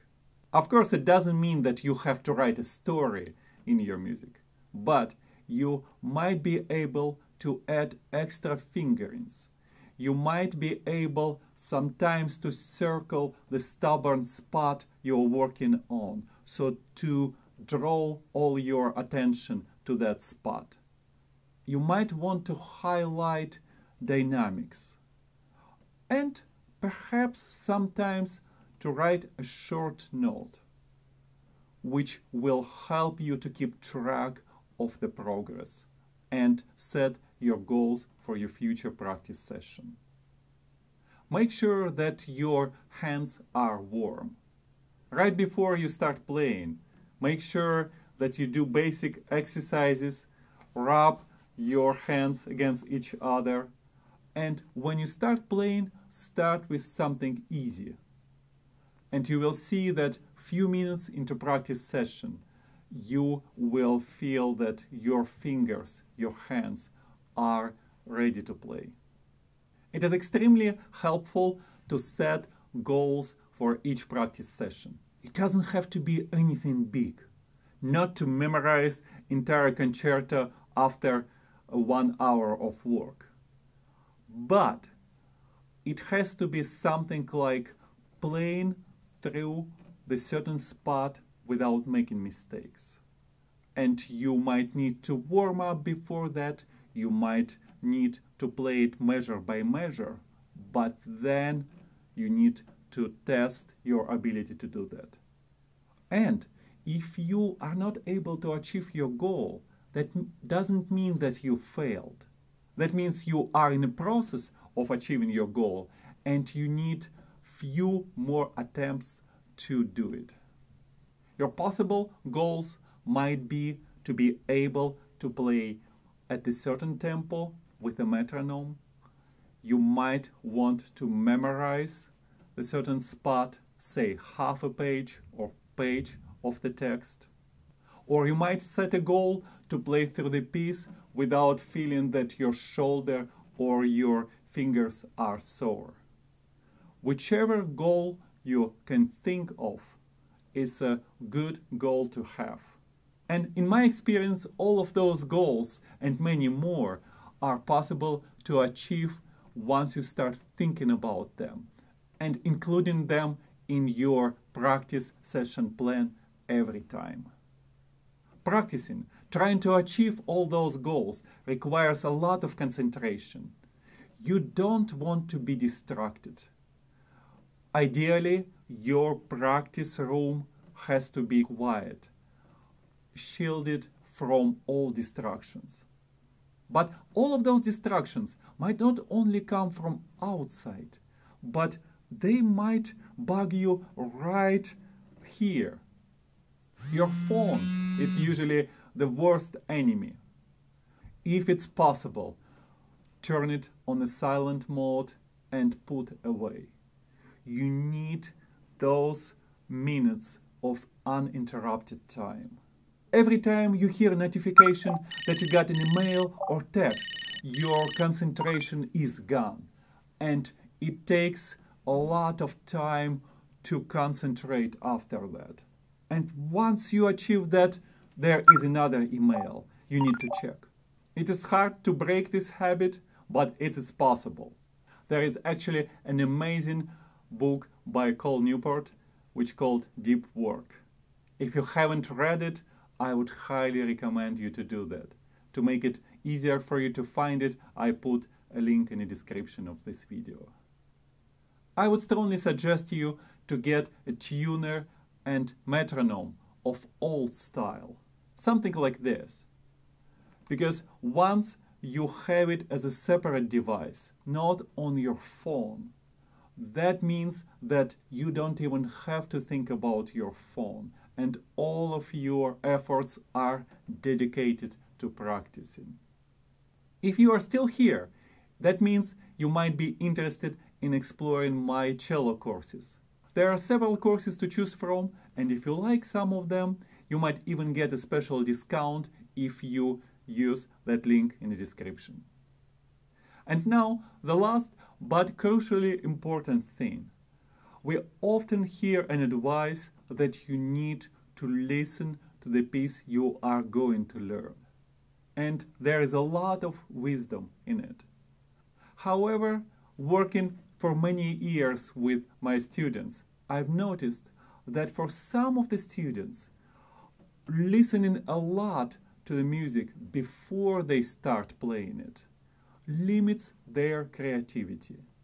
Instead of artists, they become copyists. Instead of creating their own interpretation, they just copy what they hear. Actually, that was one of the reasons why I started Cellopedia channel because my students would come to me and make terrible mistakes right from the beginning. And I had hard time correcting those mistakes until I asked, why you even making them? Don't you know how to count or how to make sound? And they would tell me, well, I spent time preparing. I listened to that or another video, which turned out to be of poor quality. And I learned that the most effective way to work with recordings is first to try to do it on your own. You just have printed music and you make a fair attempt to learn it. You spend one or two practice sessions just playing using what you see in front of you. And after you made a few decisions how to count, about tempo, about dynamics and style overall, then you might want to check with recordings. And of course, it applies to listening to my recordings too. I hope you will make a fair effort to figure out how you're going to play and then check with my recordings and see what you can do to make your playing better. And actually, ultimately, you can play better than I do. And once you achieve that, it's our success. I hope you learned something new, or at least I helped you to rethink the way you're going to prepare to your practice sessions. Keep playing cello and come back to Cellopedia. Hello everyone, welcome to Cellopedia, this is Maxim. You watch this video, that most likely means that you play cello or you are interested in learning how to do that. That also means that you know what it takes to practice. For different people, practicing means a bit different thing. But I believe we all agree that in order to play well, we need to spend time practicing. However, very often we miss one very important thing. We need to know and think about preparation. What do you do before you actually spend time practicing. I talk at length about this with my students, and I believe that helped me to identify seven most important things you need to remember before you start practicing. Let's tune, and by the way, we will talk a bit about the way to tune and get to work.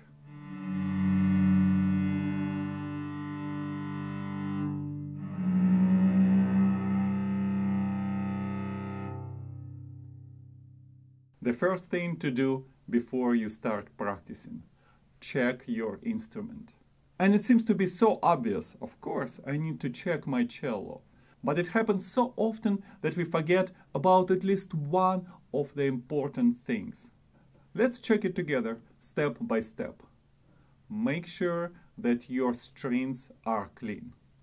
It is not just for looks. Usually, even after one day of practicing, you will have excessive rosin stuck to your strings. And that will make it harder to start the bow stroke. The string will not respond as quickly as it can. You need to have a soft, fairly clean cloth and remove rosin before your practice and ideally after you do that. I'm going to clean my strings right now, but for very sensitive people, you might want to turn your volume a bit down because most likely you will not like sound you're going to hear. It will not work if you just gently touch strings. You will need to put little bit extra force to remove rosin.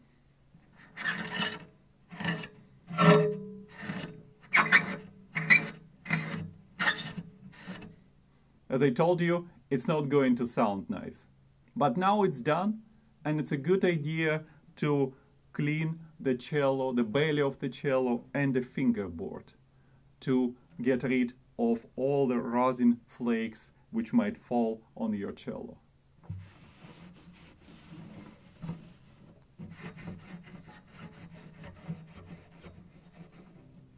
If you forget cleaning this cello this way for one day, Probably not a big deal, but a week or let alone a month will make a difference and it will be much harder to remove this rosin. Your strings are now clean, there is no excessive rosin on them. That means you need to put some extra rosin on your bow. And my advice to do it right before you start practicing. If you do it every day, you don't have to do it a lot.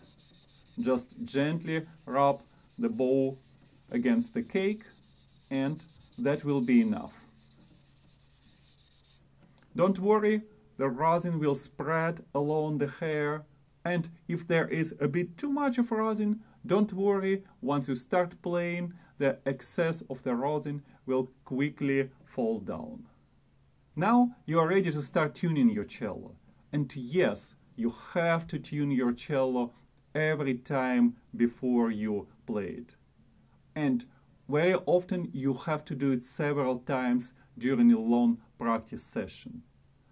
We need to check an A with a tuner. Most of people tune it with A440.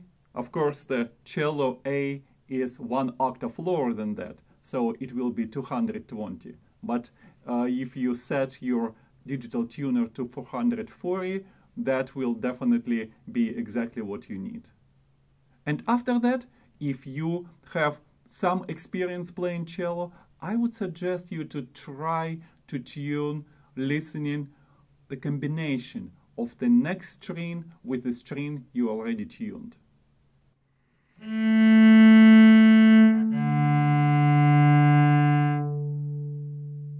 If you play string by string, it might sound just fine, but once you play them together,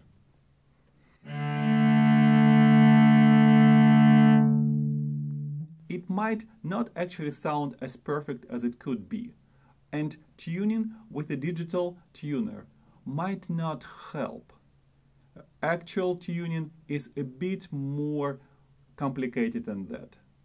So, without making it too difficult, if it is too hard for you for now to hear the difference, use digital tuner to tune every string.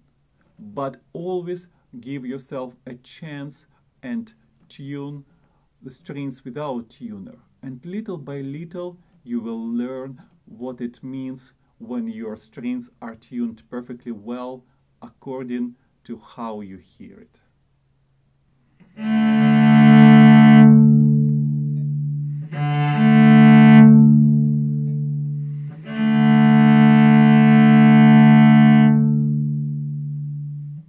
Is such a beauty when you hear two strings tuned perfectly well. Now let's talk about our next step. You need to think about practice schedule. And it's not just about how much time you have to practice, but how you are going to use that time. First of all, it helps a lot if possible if you have regular time scheduled to practice. I know with your life schedule, it's just impossible even to think about that. But you might still try to think how you can adjust your schedule. Because practicing at the same time has several benefits. You don't have to think about each practicing session. Should I practice or not? Do I feel energetic enough or not? It will become your habit. On top of that, the earlier practice in time proved to be the most beneficial. Of course, you think it's crazy. In the morning, it's hard to even make a cup of coffee. But whatever you can make in the morning, whatever you can achieve, usually stays much longer. On top of that, you know your worst case scenario. That means you will make all mistakes in the morning. And rather than trying to hide them, try to think, oh, I will feel better closer to the evening, more inspired, I will definitely be warmed up, so I will not make those mistakes. This might not serve you well because you should be the person who is perfectly aware of all mistakes you can make. And testing your skill in the morning usually proves to be the best, the hardest way to approach it. What is hard in the morning for most of us will be much easier during the second part of the day when most likely you will want to show your skill to someone else. How much time to practice? There is no one answer to that. It depends on your age, it depends on your schedule, and most importantly, it depends on your goals. When I was preparing for different competitions, I practiced all the time I had available. That means I practiced four, five, six hours per day. But it doesn't have to be this way. Actually, it might even be harmful for a lot of cellists because you have to be very careful with your hands and once you overextend your ability to practice, you might even damage your muscles or joints. So we need to be very careful about that. On the other hand, five minutes of practicing per day most likely will not get you far. For most of the cellists who are not dreaming to become professional, practicing from half an hour to hour per day will work the best. We all want to play all of our favorite music. But no matter how much you are excited about your current project, make sure that you allocate at least 10 minutes of your practicing time for exercises, scales, arpeggios, and perhaps some of the etudes. Of course, 10 minutes might not be enough for everything on this list, so if you relatively short on time, then you might want to play scales one day and etudes another day to prepare yourself to the main part of your work. It is a good idea to have all printed music right in front of you on your music stand. Once you see all etudes and scales printed out and set right in front of you, it's much harder to forget to work on them. And don't forget about this magic tool, a pencil. You must have it on your music stand. I haven't met any decent musician who wouldn't work with the pencil. That means that you have to mark all of your ideas in music. Of course, it doesn't mean that you have to write a story in your music, but you might be able to add extra fingerings you might be able sometimes to circle the stubborn spot you're working on, so to draw all your attention to that spot. You might want to highlight dynamics and perhaps sometimes to write a short note which will help you to keep track of the progress and set your goals for your future practice session. Make sure that your hands are warm. Right before you start playing, make sure that you do basic exercises, rub your hands against each other. And when you start playing, start with something easy. And you will see that few minutes into practice session, you will feel that your fingers, your hands are ready to play. It is extremely helpful to set goals for each practice session. It doesn't have to be anything big. Not to memorize entire concerto after one hour of work. But it has to be something like playing through the certain spot without making mistakes. And you might need to warm up before that, you might need to play it measure by measure, but then you need to test your ability to do that. And if you are not able to achieve your goal, that doesn't mean that you failed. That means you are in the process of achieving your goal and you need few more attempts to do it. Your possible goals might be to be able to play at a certain tempo with a metronome. You might want to memorize a certain spot, say half a page or page of the text. Or you might set a goal to play through the piece without feeling that your shoulder or your fingers are sore. Whichever goal you can think of is a good goal to have. And in my experience, all of those goals and many more are possible to achieve once you start thinking about them and including them in your practice session plan every time. Practicing, trying to achieve all those goals requires a lot of concentration. You don't want to be distracted. Ideally, your practice room has to be quiet, shielded from all distractions. But all of those distractions might not only come from outside, but they might bug you right here. Your phone is usually the worst enemy. If it's possible, turn it on a silent mode and put away. You need those minutes of uninterrupted time. Every time you hear a notification that you got an email or text, your concentration is gone. And it takes a lot of time to concentrate after that. And once you achieve that, there is another email you need to check. It is hard to break this habit, but it is possible. There is actually an amazing book by Cal Newport which called Deep Work. If you haven't read it, I would highly recommend you to do that. To make it easier for you to find it, I put a link in the description of this video. I would strongly suggest you to get a tuner and metronome of old style, something like this. Because once you have it as a separate device, not on your phone, that means that you don't even have to think about your phone and all of your efforts are dedicated to practicing. If you are still here, that means you might be interested in exploring my cello courses.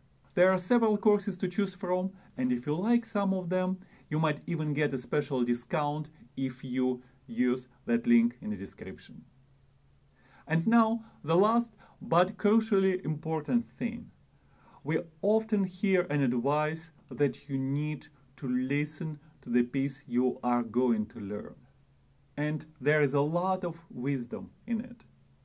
However, working for many years with my students, I've noticed that for some of the students, listening a lot to the music before they start playing it limits their creativity. Instead of artists, they become copyists. Instead of creating their own interpretation, they just copy what they hear. Actually, that was one of the reasons why I started Cellopedia channel because my students would come to me and make terrible mistakes right from the beginning. And I had hard time correcting those mistakes until I asked, why you even making them? Don't you know how to count or how to make sound? And they would tell me, well, I spent time preparing. I listened to that or another video, which turned out to be of poor quality. And I learned that the most effective way to work with recordings is first to try to do it on your own. You just have printed music and you make a fair attempt to learn it. You spend one or two practice sessions just playing using what you see in front of you. And after you made a few decisions how to count, about tempo, about dynamics and style overall, then you might want to check with recordings. And of course it applies to listening to my recordings too. I hope you will make a fair effort to figure out how you're going to play and then check with my recordings and see what you can do to make your playing better. And actually, ultimately, you can play better than I do. And once you achieve that, it's our success. I hope you learned something new, or at least I helped you to rethink the way you're going to prepare to your practice sessions. Keep playing cello and come back to Cellopedia. Hello everyone, welcome to Cellopedia, this is Maxim.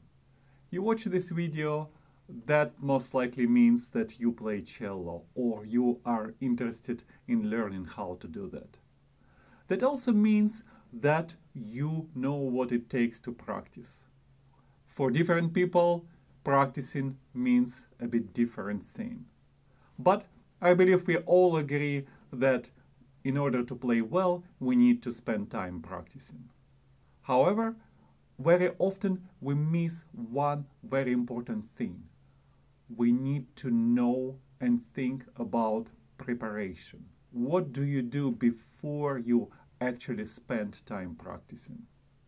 I talk at length about this with my students, and I believe that helped me to identify seven most important things you need to remember before you start practicing. Let's tune, and by the way, we will talk a bit about the way to tune and get to work.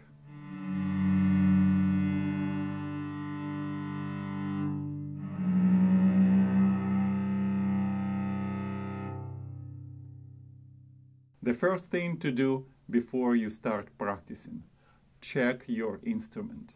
And it seems to be so obvious, of course, I need to check my cello. But it happens so often that we forget about at least one of the important things. Let's check it together, step by step. Make sure that your strings are clean. It is not just for looks. Usually, even after one day of practicing, you will have excessive rosin stuck to your strings. And that will make it harder to start the bow stroke. The string will not respond as quickly as it can. You need to have a soft, fairly clean cloth and remove rosin before you practice and ideally after you do that. I'm going to clean my strings right now, but for very sensitive people, you might want to turn your volume a bit down because most likely you will not like sound you're going to hear. It will not work if you just gently touch strings. You will need to put a little bit extra force to remove rosin.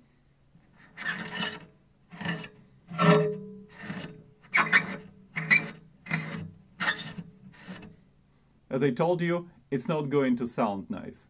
But now it's done, and it's a good idea to clean the cello, the belly of the cello, and the fingerboard to get rid of all the rosin flakes which might fall on your cello.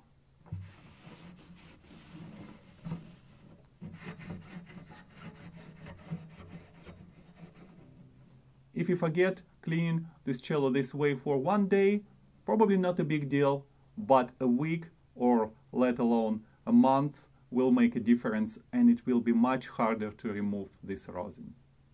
Your strings are now clean, there is no excessive rosin on them. That means you need to put some extra rosin on your bow. And my advice to do it right before you start practicing. If you do it every day, you don't have to do it a lot. Just gently rub the bow against the cake and that will be enough. Don't worry, the rosin will spread along the hair and if there is a bit too much of rosin, don't worry, once you start playing, the excess of the rosin will quickly fall down. Now you are ready to start tuning your cello. And yes, you have to tune your cello every time before you play it. And very often you have to do it several times during a long practice session. We need to check an A with a tuner. Most of people tune it with A440. Of course, the cello A is one octave lower than that, so it will be 220. But uh, if you set your digital tuner to 440, that will definitely be exactly what you need. And after that, if you have some experience playing cello, I would suggest you to try to tune listening the combination of the next string with the string you already tuned.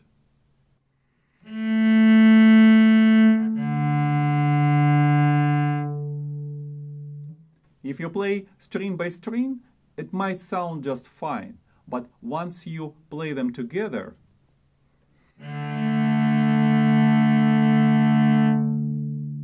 it might not actually sound as perfect as it could be. And tuning with a digital tuner might not help. Actual tuning is a bit more complicated than that. So, without making it too difficult, if it is too hard for you for now to hear the difference, use digital tuner to tune every string. But always give yourself a chance and tune the strings without tuner. And little by little, you will learn what it means when your strings are tuned perfectly well according to how you hear it.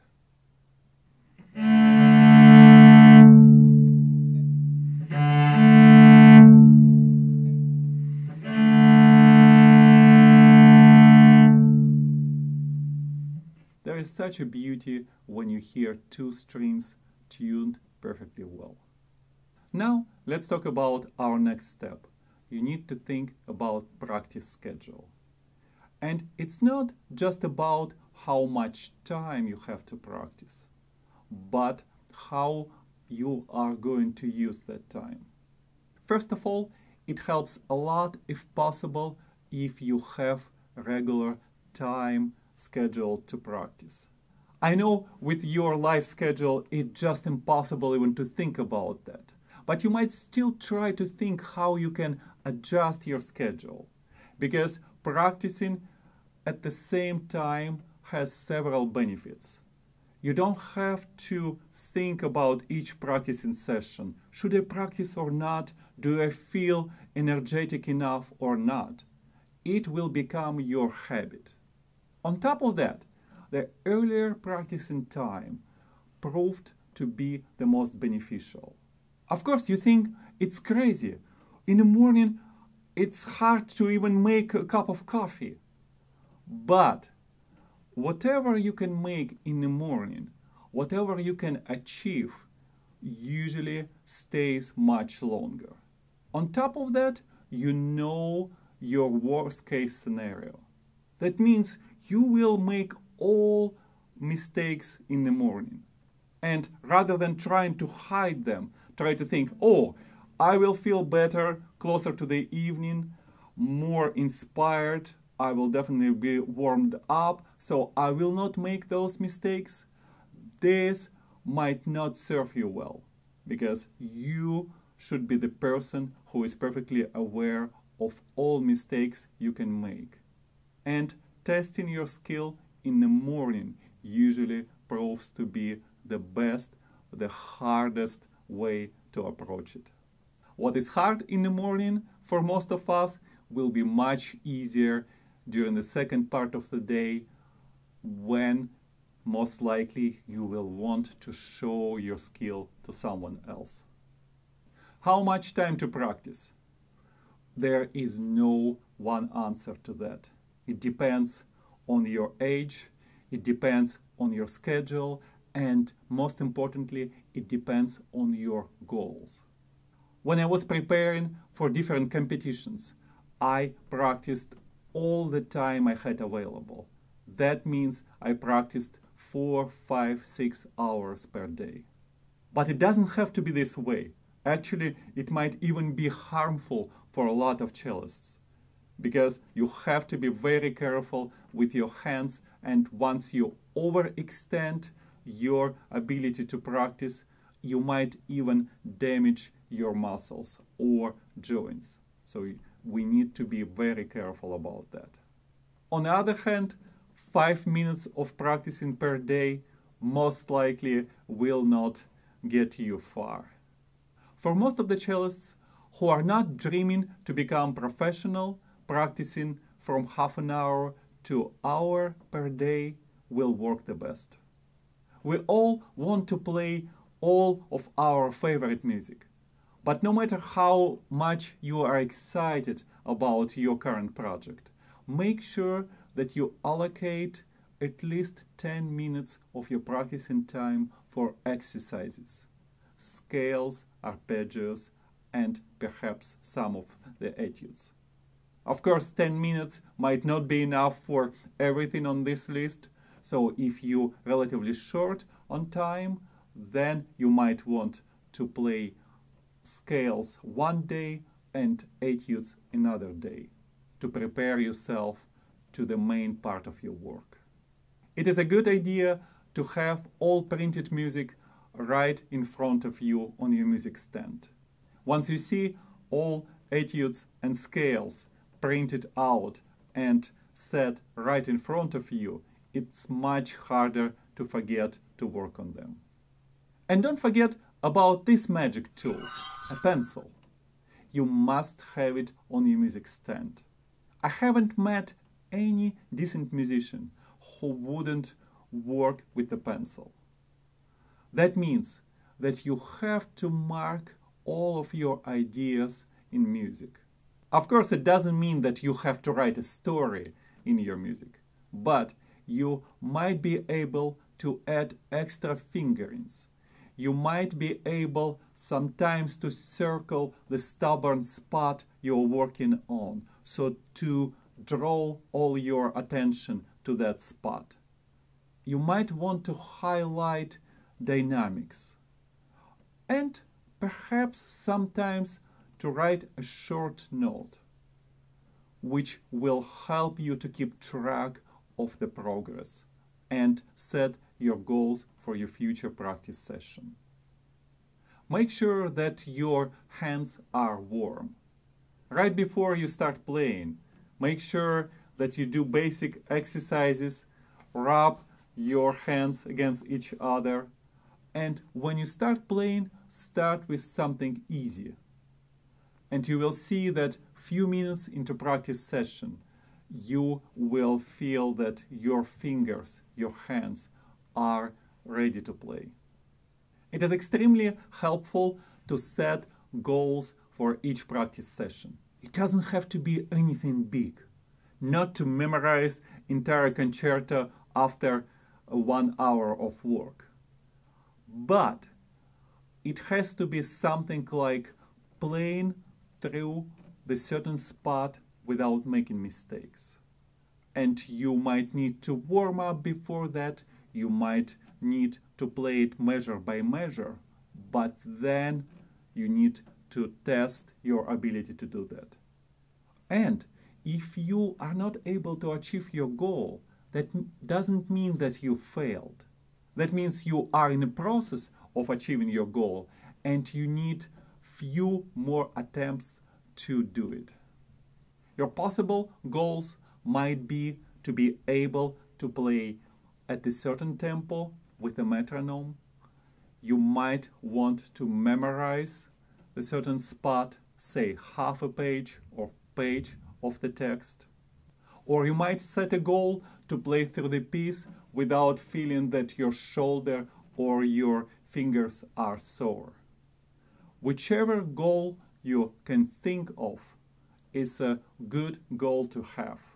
And in my experience, all of those goals and many more are possible to achieve once you start thinking about them and including them in your practice session plan every time. Practicing, trying to achieve all those goals requires a lot of concentration. You don't want to be distracted. Ideally, your practice room has to be quiet, shielded from all distractions. But all of those distractions might not only come from outside, but they might bug you right here. Your phone is usually the worst enemy. If it's possible, turn it on a silent mode and put away. You need those minutes of uninterrupted time. Every time you hear a notification that you got an email or text, your concentration is gone. And it takes a lot of time to concentrate after that. And once you achieve that, there is another email you need to check. It is hard to break this habit, but it is possible. There is actually an amazing book by Cal Newport which called Deep Work. If you haven't read it, I would highly recommend you to do that. To make it easier for you to find it, I put a link in the description of this video. I would strongly suggest you to get a tuner and metronome of old style, something like this.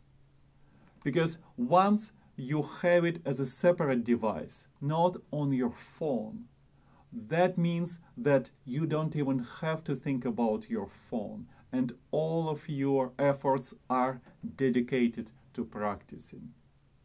If you are still here, that means you might be interested in exploring my cello courses.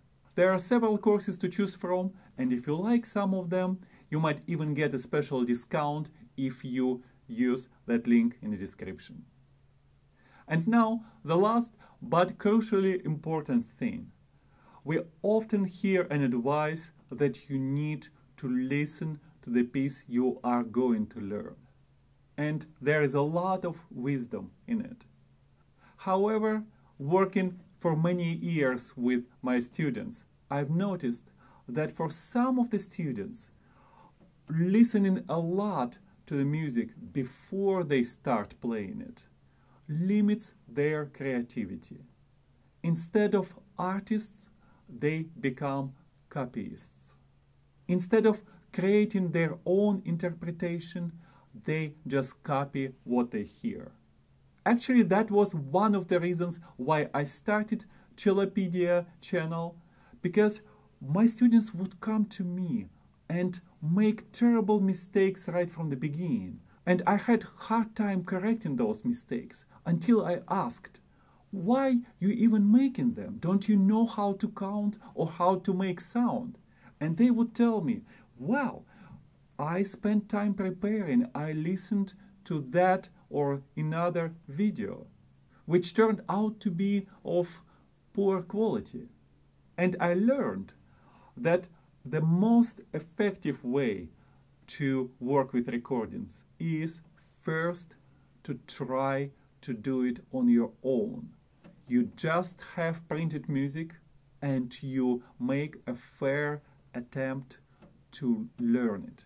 You spend one or two practice sessions just playing using what you see in front of you. And after you made a few decisions how to count, about tempo, about dynamics and style overall, then you might want to check with recordings. And of course, it applies to listening to my recordings too. I hope you will make a fair effort to figure out how you're going to play and then check with my recordings and see what you can do to make your playing better. And actually, ultimately, you can play better than I do. And once you achieve that, it's our success. I hope you learned something new, or at least I helped you to rethink the way you're going to prepare to your practice sessions. Keep playing cello and come back to Cellopedia. Hello everyone, welcome to Cellopedia, this is Maxim. You watch this video, that most likely means that you play cello or you are interested in learning how to do that. That also means that you know what it takes to practice. For different people, practicing means a bit different thing. But I believe we all agree that in order to play well, we need to spend time practicing. However, very often we miss one very important thing. We need to know and think about preparation. What do you do before you actually spend time practicing? I talk at length about this with my students, and I believe that helped me to identify seven most important things you need to remember before you start practicing. Let's tune, and by the way, we will talk a bit about the way to tune and get to work.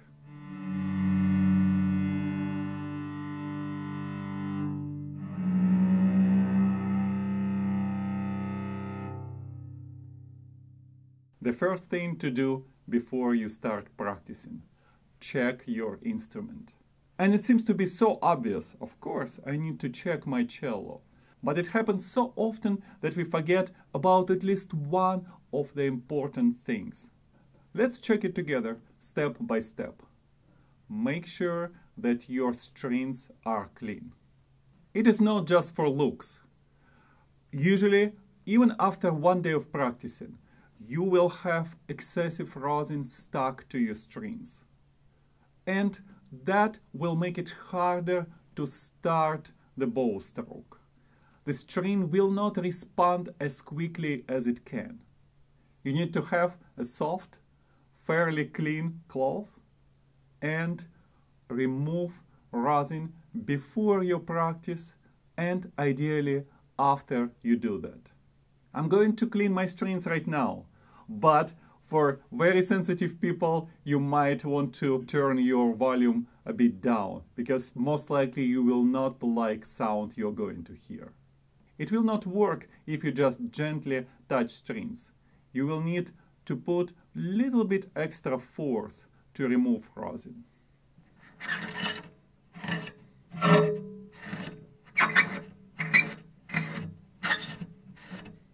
As I told you, it's not going to sound nice. But now it's done, and it's a good idea to clean the cello, the belly of the cello, and the fingerboard to get rid of all the rosin flakes which might fall on your cello.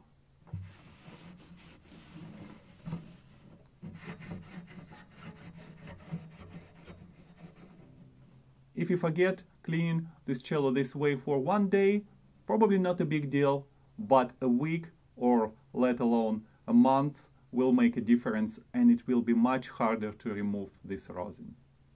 Your strings are now clean, there is no excessive rosin on them. That means you need to put some extra rosin on your bow. And my advice to do it right before you start practicing. If you do it every day, you don't have to do it a lot. Just gently rub the bow against the cake and that will be enough. Don't worry, the rosin will spread along the hair and if there is a bit too much of rosin, don't worry, once you start playing, the excess of the rosin will quickly fall down. Now you are ready to start tuning your cello. And yes, you have to tune your cello every time before you play it. And very often you have to do it several times during a long practice session. We need to check an A with a tuner. Most of people tune it with A440. Of course, the cello A is one octave lower than that, so it will be 220. But uh, if you set your digital tuner to 440, that will definitely be exactly what you need. And after that, if you have some experience playing cello, I would suggest you to try to tune listening the combination of the next string with the string you already tuned.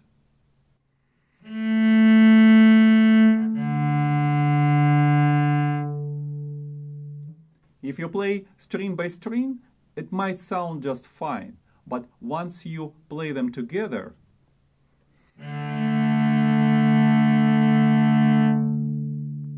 it might not actually sound as perfect as it could be. And tuning with a digital tuner might not help. Actual tuning is a bit more complicated than that. So, without making it too difficult, if it is too hard for you for now to hear the difference, use digital tuner to tune every string. But always give yourself a chance and tune the strings without tuner. And little by little, you will learn what it means when your strings are tuned perfectly well according to how you hear it.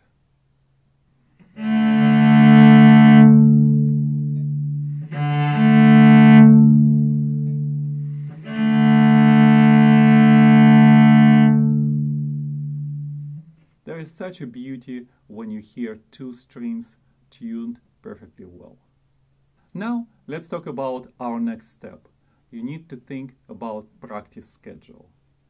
And it's not just about how much time you have to practice, but how you are going to use that time.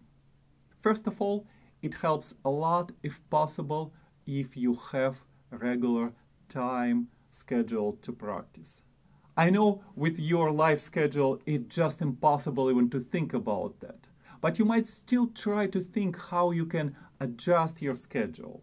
Because practicing at the same time has several benefits. You don't have to think about each practicing session. Should I practice or not? Do I feel energetic enough or not? It will become your habit. On top of that, the earlier practice in time proved to be the most beneficial. Of course, you think it's crazy. In the morning, it's hard to even make a cup of coffee. But whatever you can make in the morning, whatever you can achieve, usually stays much longer. On top of that, you know your worst case scenario. That means you will make all mistakes in the morning. And rather than trying to hide them, try to think, oh, I will feel better closer to the evening, more inspired. I will definitely be warmed up, so I will not make those mistakes. This might not serve you well because you should be the person who is perfectly aware of all mistakes you can make. And testing your skill in the morning usually proves to be the best, the hardest way to approach it. What is hard in the morning for most of us will be much easier during the second part of the day when most likely you will want to show your skill to someone else. How much time to practice?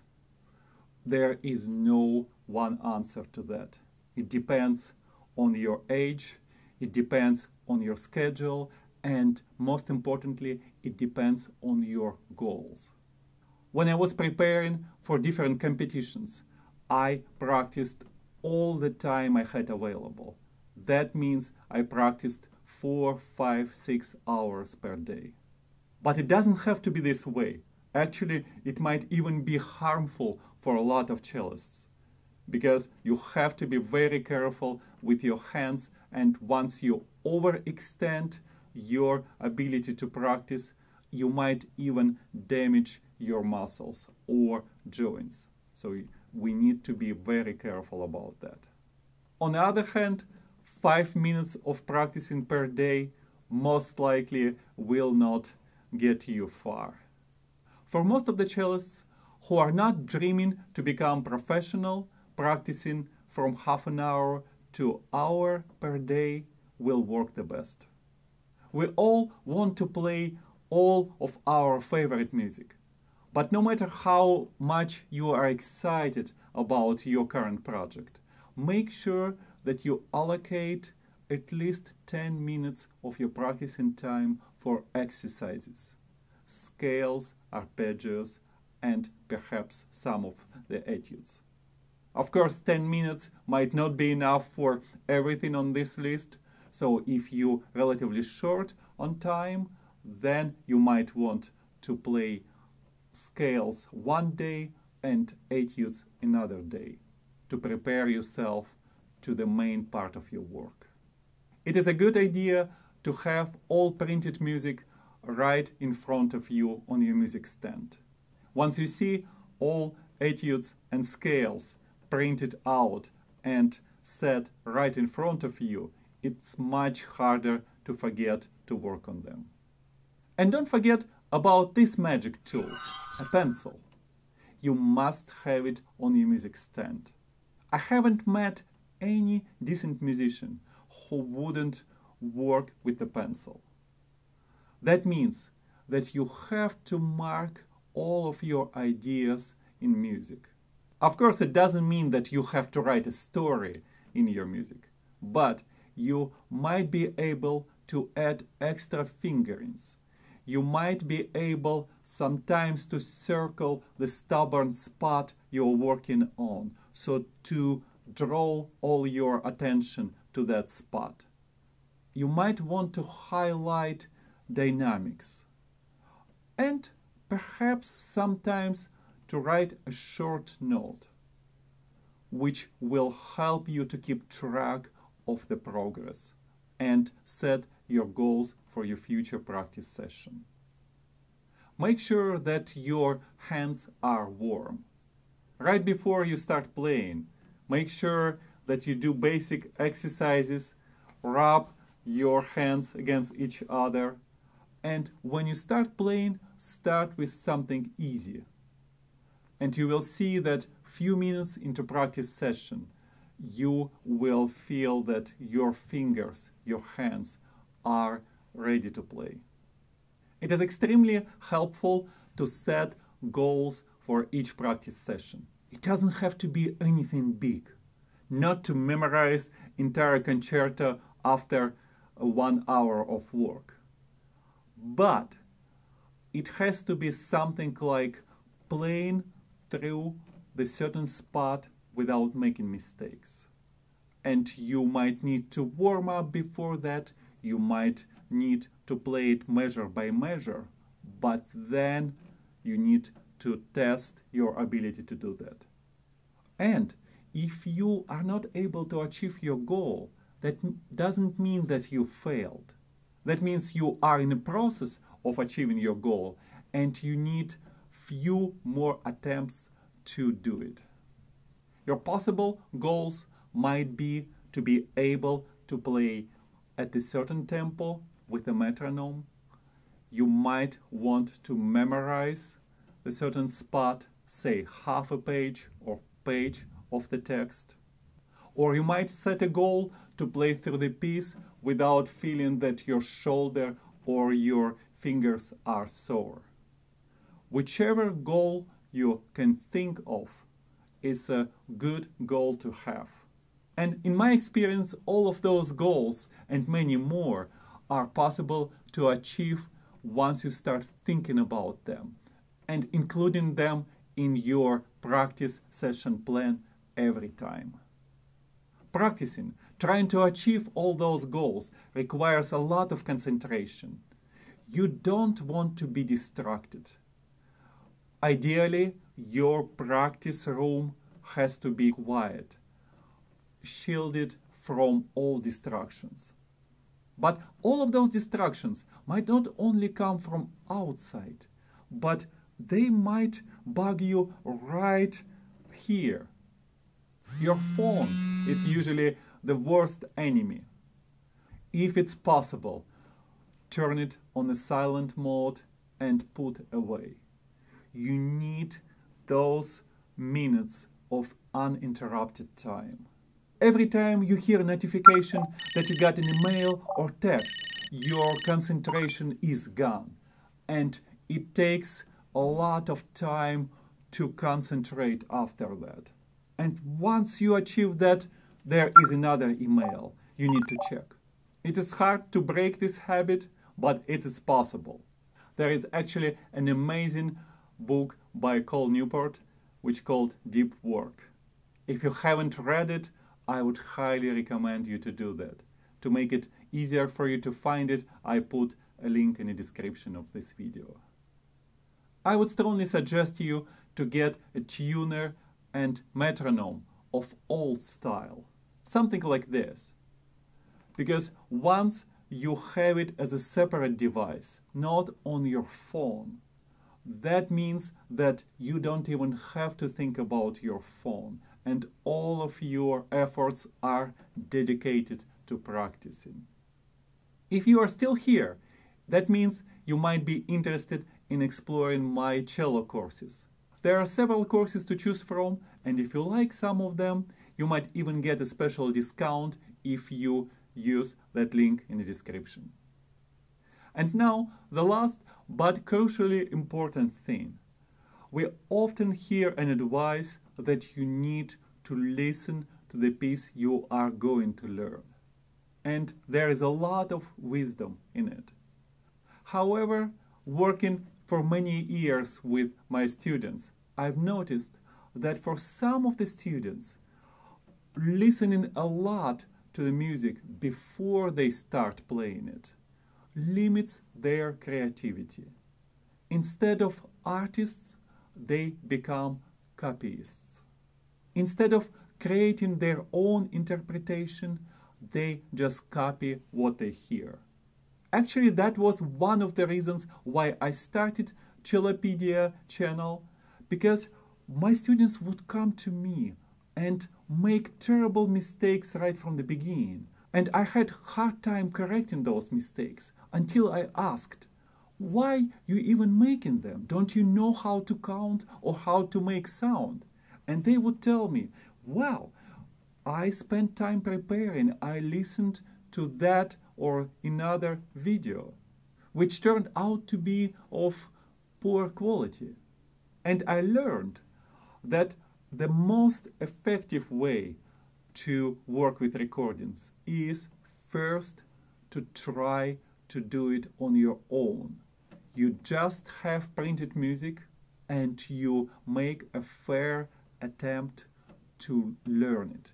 You spend one or two practice sessions just playing using what you see in front of you. And after you made a few decisions how to count, about tempo, about dynamics and style overall, then you might want to check with recordings. And of course it applies to listening to my recordings too. I hope you will make a fair effort to figure out how you're going to play and then check with my recordings and see what you can do to make your playing better. And actually, ultimately, you can play better than I do. And once you achieve that, it's our success. I hope you learned something new, or at least I helped you to rethink the way you're going to prepare to your practice sessions.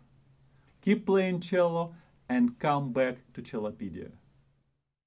Hello everyone, welcome to Cellopedia, this is Maxim.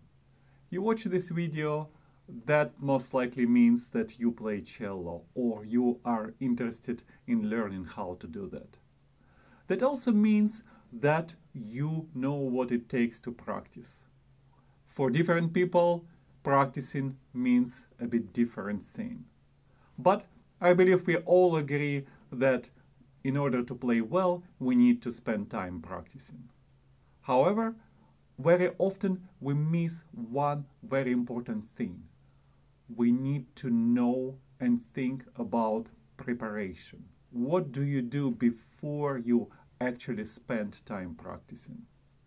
I talk at length about this with my students, and I believe that helped me to identify seven most important things you need to remember before you start practicing.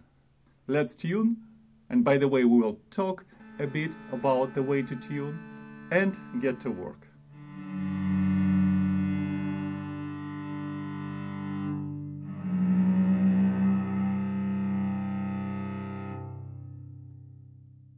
The first thing to do before you start practicing, check your instrument. And it seems to be so obvious, of course, I need to check my cello. But it happens so often that we forget about at least one of the important things. Let's check it together, step by step. Make sure that your strings are clean. It is not just for looks. Usually, even after one day of practicing, you will have excessive rosin stuck to your strings. And that will make it harder to start the bow stroke. The string will not respond as quickly as it can. You need to have a soft, fairly clean cloth and remove rosin before you practice and ideally after you do that. I'm going to clean my strings right now, but for very sensitive people, you might want to turn your volume a bit down because most likely you will not like sound you're going to hear. It will not work if you just gently touch strings. You will need to put a little bit extra force to remove rosin.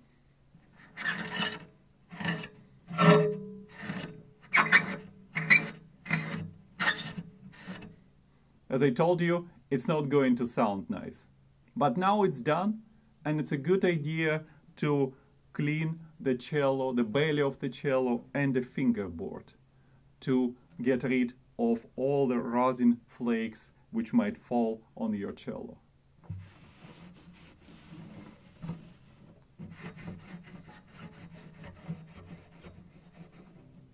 If you forget clean this cello this way for one day, probably not a big deal, but a week or let alone a month will make a difference and it will be much harder to remove this rosin. Your strings are now clean, there is no excessive rosin on them. That means you need to put some extra rosin on your bow. And my advice to do it right before you start practicing. If you do it every day, you don't have to do it a lot. Just gently rub the bow against the cake and that will be enough. Don't worry, the rosin will spread along the hair and if there is a bit too much of rosin, don't worry, once you start playing, the excess of the rosin will quickly fall down. Now you are ready to start tuning your cello. And yes, you have to tune your cello every time before you play it. And very often you have to do it several times during a long practice session. We need to check an A with a tuner. Most of people tune it with A440. Of course, the cello A is one octave lower than that, so it will be 220. But uh, if you set your digital tuner to 440, that will definitely be exactly what you need. And after that, if you have some experience playing cello, I would suggest you to try to tune listening the combination of the next string with the string you already tuned.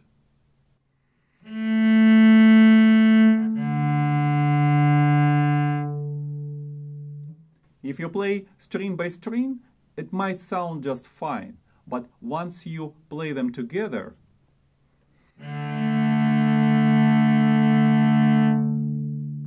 it might not actually sound as perfect as it could be. And tuning with a digital tuner might not help. Actual tuning is a bit more complicated than that. So, without making it too difficult, if it is too hard for you for now to hear the difference, use digital tuner to tune every string. But always give yourself a chance and tune the strings without tuner. And little by little, you will learn what it means when your strings are tuned perfectly well according to how you hear it.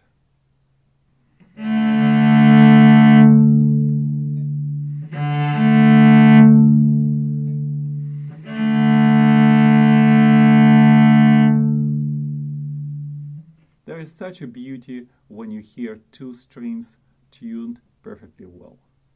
Now let's talk about our next step. You need to think about practice schedule. And it's not just about how much time you have to practice, but how you are going to use that time. First of all, it helps a lot if possible if you have regular time schedule to practice. I know with your life schedule it's just impossible even to think about that. But you might still try to think how you can adjust your schedule. Because practicing at the same time has several benefits. You don't have to think about each practicing session. Should I practice or not? Do I feel energetic enough or not? It will become your habit. On top of that, the earlier practicing time proved to be the most beneficial. Of course, you think it's crazy. In the morning, it's hard to even make a cup of coffee. But whatever you can make in the morning, whatever you can achieve, usually stays much longer. On top of that, you know your worst case scenario. That means you will make all mistakes in the morning. And rather than trying to hide them, try to think, oh, I will feel better closer to the evening, more inspired. I will definitely be warmed up, so I will not make those mistakes. This might not serve you well because you should be the person who is perfectly aware of all mistakes you can make. And testing your skill in the morning usually proves to be the best, the hardest way to approach it. What is hard in the morning for most of us will be much easier during the second part of the day when most likely you will want to show your skill to someone else. How much time to practice? There is no one answer to that. It depends on your age, it depends on your schedule, and most importantly, it depends on your goals. When I was preparing for different competitions, I practiced all the time I had available. That means I practiced four, five, six hours per day. But it doesn't have to be this way. Actually, it might even be harmful for a lot of cellists because you have to be very careful with your hands and once you overextend your ability to practice, you might even damage your muscles or joints. So we need to be very careful about that. On the other hand, five minutes of practicing per day most likely will not get you far. For most of the cellists who are not dreaming to become professional, practicing from half an hour to hour per day will work the best. We all want to play all of our favorite music. But no matter how much you are excited about your current project, make sure that you allocate at least 10 minutes of your practicing time for exercises, scales, arpeggios, and perhaps some of the etudes. Of course, 10 minutes might not be enough for everything on this list, so if you relatively short on time, then you might want to play scales one day and etudes another day to prepare yourself to the main part of your work. It is a good idea to have all printed music right in front of you on your music stand. Once you see all etudes and scales printed out and set right in front of you, it's much harder to forget to work on them. And don't forget about this magic tool, a pencil. You must have it on your music stand. I haven't met any decent musician who wouldn't work with a pencil. That means that you have to mark all of your ideas in music. Of course, it doesn't mean that you have to write a story in your music, but you might be able to add extra fingerings. You might be able sometimes to circle the stubborn spot you're working on, so to draw all your attention to that spot. You might want to highlight dynamics and perhaps sometimes to write a short note which will help you to keep track of the progress and set your goals for your future practice session. Make sure that your hands are warm. Right before you start playing, make sure that you do basic exercises, rub your hands against each other, and when you start playing, start with something easy. And you will see that few minutes into practice session, you will feel that your fingers, your hands are ready to play. It is extremely helpful to set goals for each practice session. It doesn't have to be anything big. Not to memorize entire concerto after one hour of work. But it has to be something like playing through the certain spot without making mistakes. And you might need to warm up before that, you might need to play it measure by measure, but then you need to test your ability to do that. And if you are not able to achieve your goal, that doesn't mean that you failed. That means you are in the process of achieving your goal and you need few more attempts to do it. Your possible goals might be to be able to play at a certain tempo with a metronome. You might want to memorize a certain spot, say half a page or page of the text. Or you might set a goal to play through the piece without feeling that your shoulder or your fingers are sore. Whichever goal you can think of is a good goal to have. And in my experience, all of those goals and many more are possible to achieve once you start thinking about them and including them in your practice session plan every time. Practicing, trying to achieve all those goals requires a lot of concentration. You don't want to be distracted. Ideally, your practice room has to be quiet, shielded from all distractions. But all of those distractions might not only come from outside, but they might bug you right here. Your phone is usually the worst enemy. If it's possible, turn it on a silent mode and put away. You need those minutes of uninterrupted time. Every time you hear a notification that you got an email or text, your concentration is gone. And it takes a lot of time to concentrate after that. And once you achieve that, there is another email you need to check. It is hard to break this habit, but it is possible. There is actually an amazing book by Cal Newport which called Deep Work. If you haven't read it, I would highly recommend you to do that. To make it easier for you to find it, I put a link in the description of this video.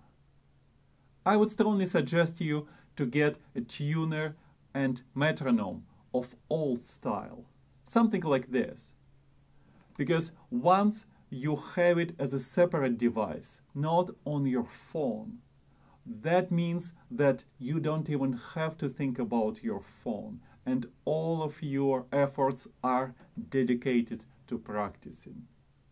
If you are still here, that means you might be interested in exploring my cello courses. There are several courses to choose from, and if you like some of them, you might even get a special discount if you use that link in the description. And now, the last but crucially important thing. We often hear an advice that you need to listen to the piece you are going to learn. And there is a lot of wisdom in it. However, working for many years with my students, I've noticed that for some of the students, listening a lot to the music before they start playing it limits their creativity. Instead of artists, they become copyists.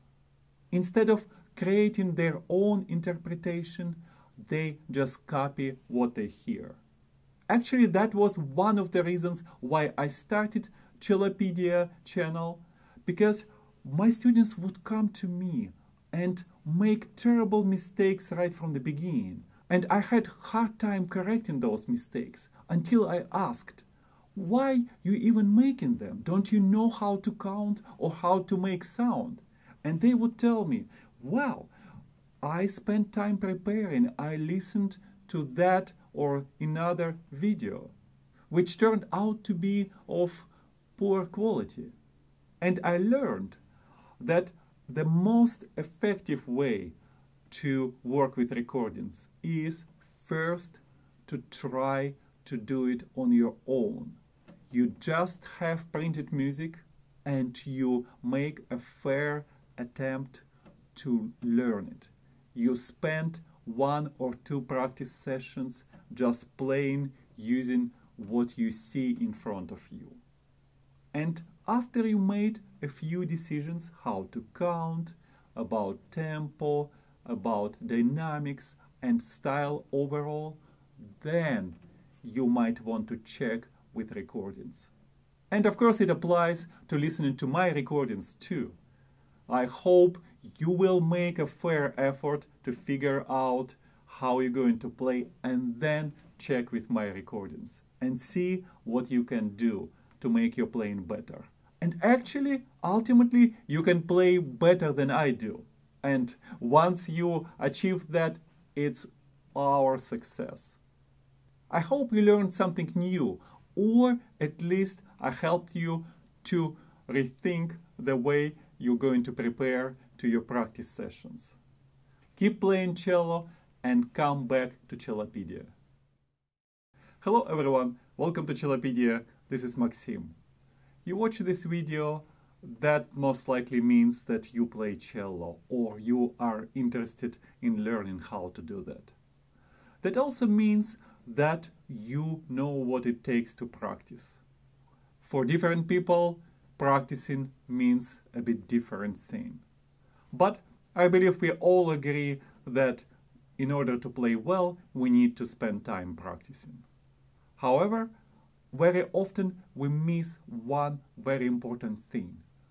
We need to know and think about preparation. What do you do before you actually spend time practicing? I talk at length about this with my students, and I believe that helped me to identify seven most important things you need to remember before you start practicing. Let's tune, and by the way, we will talk a bit about the way to tune and get to work.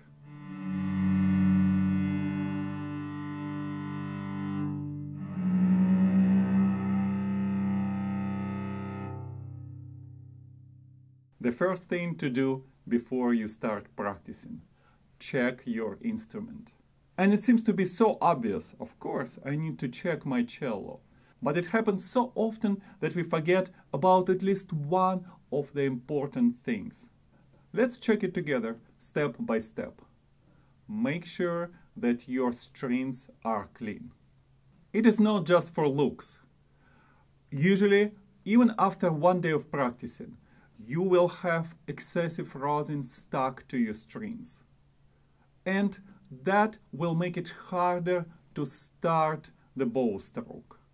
The string will not respond as quickly as it can. You need to have a soft, fairly clean cloth and remove rosin before you practice and ideally after you do that. I'm going to clean my strings right now, but for very sensitive people, you might want to turn your volume a bit down because most likely you will not like sound you're going to hear. It will not work if you just gently touch strings. You will need to put a little bit extra force to remove rosin.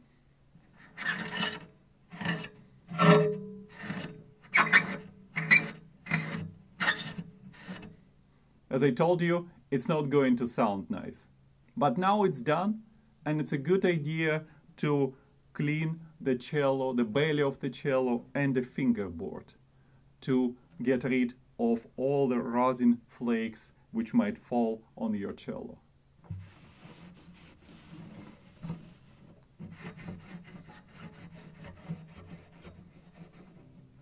If you forget clean this cello this way for one day, Probably not a big deal, but a week or let alone a month will make a difference and it will be much harder to remove this rosin.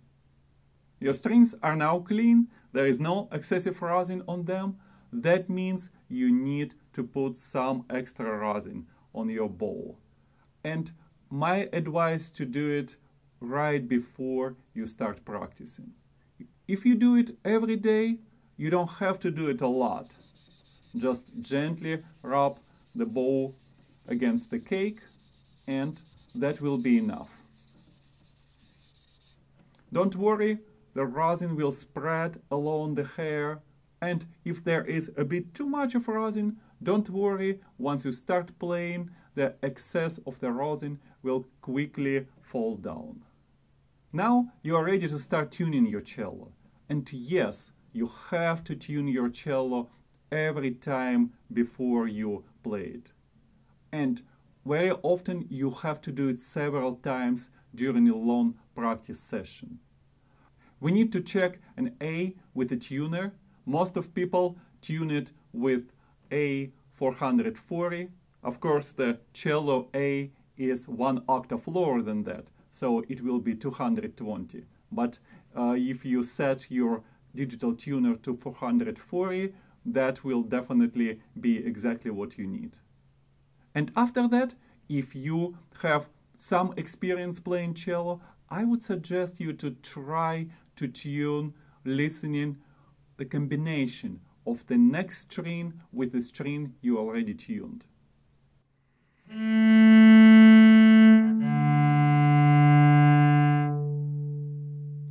If you play string by string, it might sound just fine, but once you play them together,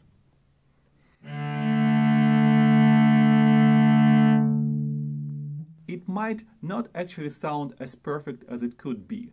And tuning with a digital tuner might not help. Actual tuning is a bit more complicated than that. So, without making it too difficult, if it is too hard for you for now to hear the difference, use digital tuner to tune every string. But always give yourself a chance and tune the strings without tuner. And little by little, you will learn what it means when your strings are tuned perfectly well according to how you hear it.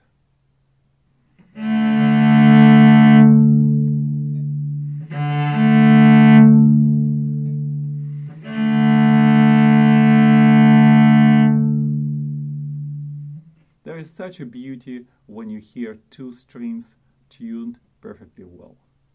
Now, let's talk about our next step.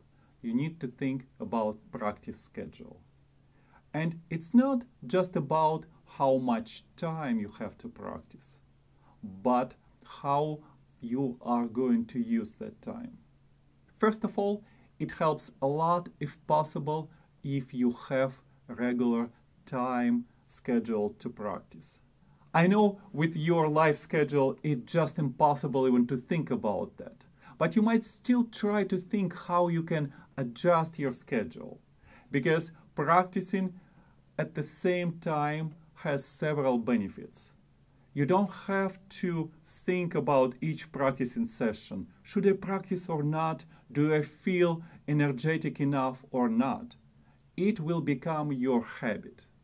On top of that, the earlier practicing time proved to be the most beneficial. Of course, you think it's crazy. In the morning, it's hard to even make a cup of coffee. But whatever you can make in the morning, whatever you can achieve, usually stays much longer. On top of that, you know your worst case scenario. That means you will make all mistakes in the morning.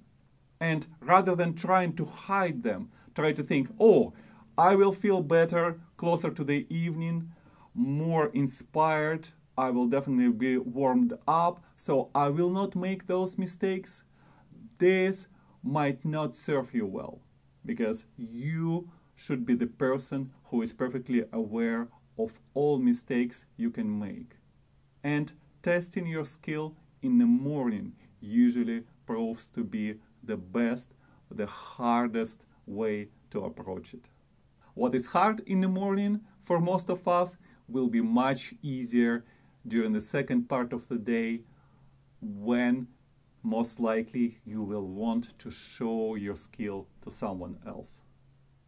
How much time to practice? There is no one answer to that. It depends on your age, it depends on your schedule, and most importantly, it depends on your goals. When I was preparing for different competitions, I practiced all the time I had available. That means I practiced four, five, six hours per day. But it doesn't have to be this way. Actually, it might even be harmful for a lot of cellists because you have to be very careful with your hands and once you overextend your ability to practice, you might even damage your muscles or joints. So we need to be very careful about that. On the other hand, five minutes of practicing per day most likely will not get you far. For most of the cellists who are not dreaming to become professional, practicing from half an hour to hour per day will work the best. We all want to play all of our favorite music. But no matter how much you are excited about your current project, make sure that you allocate at least 10 minutes of your practicing time for exercises, scales, arpeggios, and perhaps some of the etudes. Of course, 10 minutes might not be enough for everything on this list, so if you relatively short on time, then you might want to play scales one day and etudes another day to prepare yourself to the main part of your work. It is a good idea to have all printed music right in front of you on your music stand. Once you see all etudes and scales printed out and set right in front of you, it's much harder to forget to work on them. And don't forget about this magic tool, a pencil. You must have it on your music stand. I haven't met any decent musician who wouldn't work with a pencil. That means that you have to mark all of your ideas in music. Of course, it doesn't mean that you have to write a story in your music, but you might be able to add extra fingerings. You might be able sometimes to circle the stubborn spot you're working on, so to draw all your attention to that spot. You might want to highlight dynamics. And perhaps sometimes to write a short note which will help you to keep track of the progress and set your goals for your future practice session. Make sure that your hands are warm.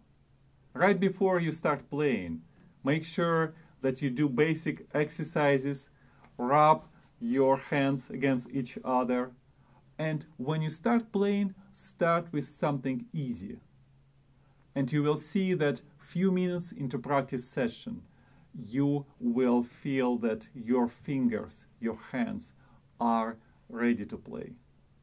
It is extremely helpful to set goals for each practice session. It doesn't have to be anything big, not to memorize entire concerto after one hour of work.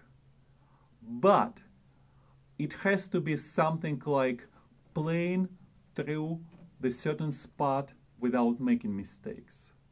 And you might need to warm up before that, you might need to play it measure by measure, but then you need to test your ability to do that. And if you are not able to achieve your goal, that doesn't mean that you failed. That means you are in the process of achieving your goal and you need few more attempts to do it. Your possible goals might be to be able to play at a certain tempo with a metronome.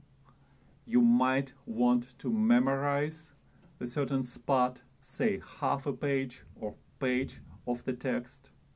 Or you might set a goal to play through the piece without feeling that your shoulder or your fingers are sore. Whichever goal you can think of is a good goal to have. And in my experience, all of those goals and many more are possible to achieve once you start thinking about them and including them in your practice session plan every time. Practicing, trying to achieve all those goals requires a lot of concentration.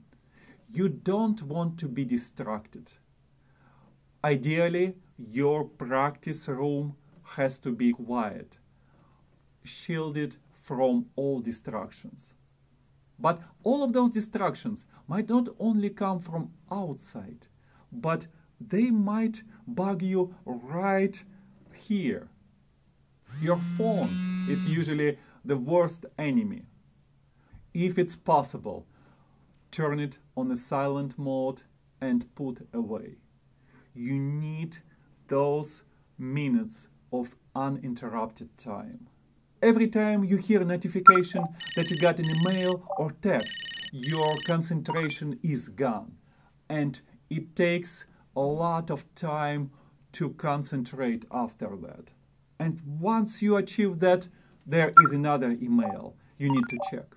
It is hard to break this habit, but it is possible.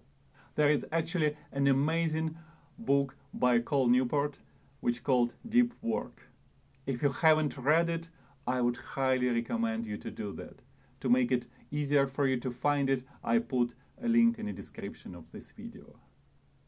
I would strongly suggest you to get a tuner and metronome of old style, something like this. Because once you have it as a separate device, not on your phone, that means that you don't even have to think about your phone and all of your efforts are dedicated to practicing. If you are still here, that means you might be interested in exploring my cello courses. There are several courses to choose from, and if you like some of them, you might even get a special discount if you use that link in the description. And now, the last but crucially important thing. We often hear an advice that you need to listen to the piece you are going to learn. And there is a lot of wisdom in it. However, working for many years with my students, I've noticed that for some of the students, listening a lot to the music before they start playing it limits their creativity. Instead of artists, they become copyists. Instead of creating their own interpretation, they just copy what they hear. Actually, that was one of the reasons why I started Cellopedia channel because my students would come to me and make terrible mistakes right from the beginning. And I had hard time correcting those mistakes until I asked, why you even making them? Don't you know how to count or how to make sound? And they would tell me, well, I spent time preparing. I listened to that or another video, which turned out to be of poor quality. And I learned that the most effective way to work with recordings is first to try to do it on your own. You just have printed music and you make a fair attempt to learn it. You spend one or two practice sessions just playing using what you see in front of you. And after you made a few decisions how to count, about tempo, about dynamics and style overall, then you might want to check with recordings. And of course it applies to listening to my recordings too. I hope you will make a fair effort to figure out how you're going to play and then check with my recordings and see what you can do to make your playing better. And actually, ultimately, you can play better than I do. And once you achieve that, it's our success. I hope you learned something new, or at least I helped you to rethink the way you're going to prepare to your practice sessions. Keep playing cello and come back to Cellopedia. Hello everyone, welcome to Cellopedia, this is Maxim. You watch this video, that most likely means that you play cello or you are interested in learning how to do that. That also means that you know what it takes to practice. For different people, practicing means a bit different thing. But I believe we all agree that in order to play well, we need to spend time practicing. However, very often we miss one very important thing. We need to know and think about preparation. What do you do before you actually spend time practicing? I talk at length about this with my students, and I believe that helped me to identify seven most important things you need to remember before you start practicing. Let's tune, and by the way, we will talk a bit about the way to tune and get to work.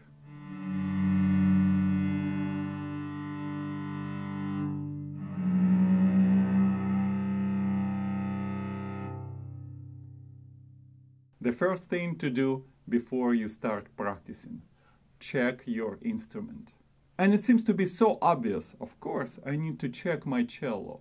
But it happens so often that we forget about at least one of the important things. Let's check it together, step by step. Make sure that your strings are clean. It is not just for looks. Usually, even after one day of practicing, you will have excessive rosin stuck to your strings. And that will make it harder to start the bow stroke. The string will not respond as quickly as it can.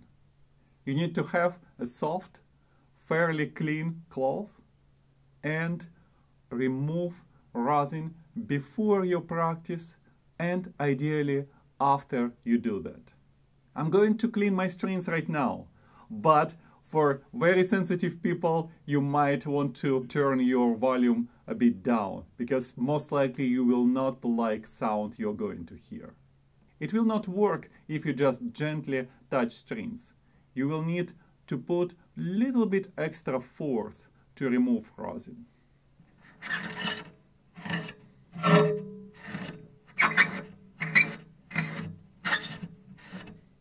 As I told you, it's not going to sound nice.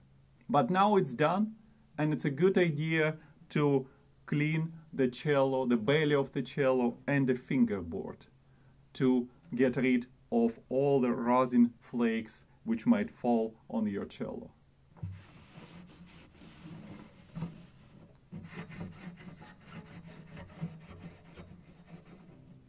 If you forget clean this cello this way for one day, probably not a big deal, but a week or let alone a month will make a difference and it will be much harder to remove this rosin. Your strings are now clean, there is no excessive rosin on them. That means you need to put some extra rosin on your bow. And my advice to do it right before you start practicing. If you do it every day, you don't have to do it a lot. Just gently rub the bow against the cake and that will be enough. Don't worry, the rosin will spread along the hair and if there is a bit too much of rosin, don't worry, once you start playing, the excess of the rosin will quickly fall down. Now you are ready to start tuning your cello. And yes, you have to tune your cello every time before you play it. And very often you have to do it several times during a long practice session. We need to check an A with a tuner. Most of people tune it with A 440. Of course, the cello A is one octave lower than that, so it will be 220. But uh, if you set your digital tuner to 440, that will definitely be exactly what you need. And after that, if you have some experience playing cello, I would suggest you to try to tune listening the combination of the next string with the string you already tuned.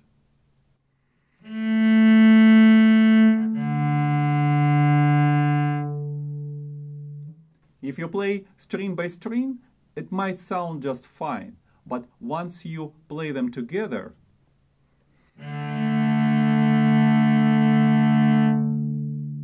it might not actually sound as perfect as it could be. And tuning with a digital tuner might not help. Actual tuning is a bit more complicated than that. So, without making it too difficult, if it is too hard for you for now to hear the difference, use digital tuner to tune every string. But always give yourself a chance and tune the strings without tuner. And little by little, you will learn what it means when your strings are tuned perfectly well according to how you hear it.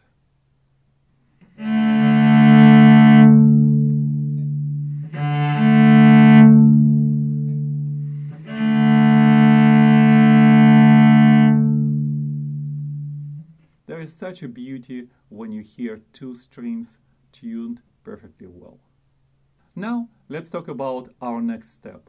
You need to think about practice schedule. And it's not just about how much time you have to practice, but how you are going to use that time. First of all, it helps a lot if possible if you have regular time schedule to practice. I know with your life schedule, it's just impossible even to think about that. But you might still try to think how you can adjust your schedule. Because practicing at the same time has several benefits. You don't have to think about each practicing session. Should I practice or not? Do I feel energetic enough or not? It will become your habit. On top of that, the earlier practicing time proved to be the most beneficial. Of course, you think it's crazy. In the morning, it's hard to even make a cup of coffee. But whatever you can make in the morning, whatever you can achieve, usually stays much longer. On top of that, you know your worst case scenario. That means you will make all mistakes in the morning. And rather than trying to hide them, try to think, oh, I will feel better closer to the evening, more inspired. I will definitely be warmed up, so I will not make those mistakes. This might not serve you well because you should be the person who is perfectly aware of all mistakes you can make. And testing your skill in the morning usually proves to be the best, the hardest way to approach it. What is hard in the morning for most of us will be much easier during the second part of the day when most likely you will want to show your skill to someone else. How much time to practice?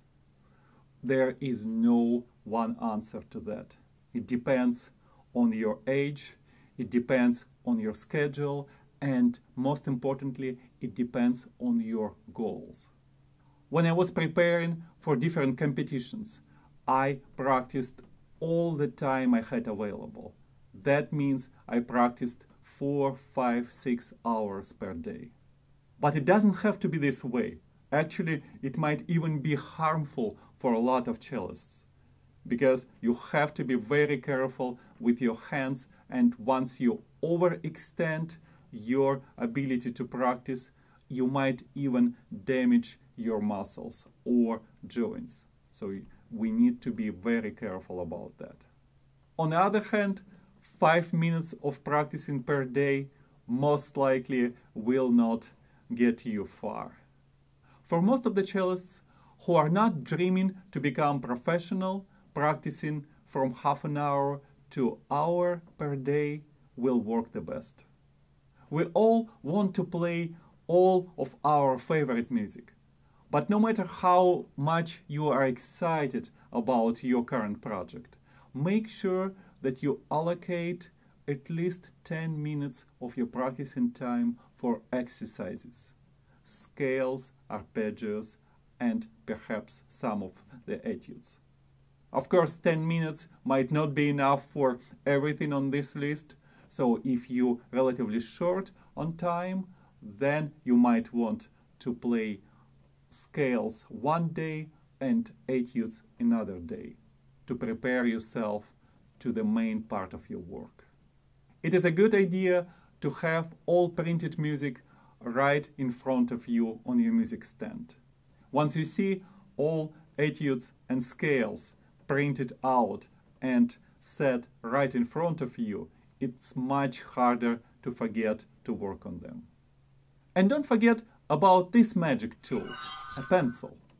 You must have it on your music stand. I haven't met any decent musician who wouldn't work with a pencil. That means that you have to mark all of your ideas in music. Of course, it doesn't mean that you have to write a story in your music, but you might be able to add extra fingerings. You might be able sometimes to circle the stubborn spot you're working on, so to draw all your attention to that spot. You might want to highlight dynamics and perhaps sometimes to write a short note which will help you to keep track of the progress and set your goals for your future practice session. Make sure that your hands are warm. Right before you start playing, make sure that you do basic exercises, rub your hands against each other, and when you start playing, start with something easy. And you will see that few minutes into practice session, you will feel that your fingers, your hands are ready to play. It is extremely helpful to set goals for each practice session. It doesn't have to be anything big. Not to memorize entire concerto after one hour of work. But it has to be something like playing through the certain spot without making mistakes.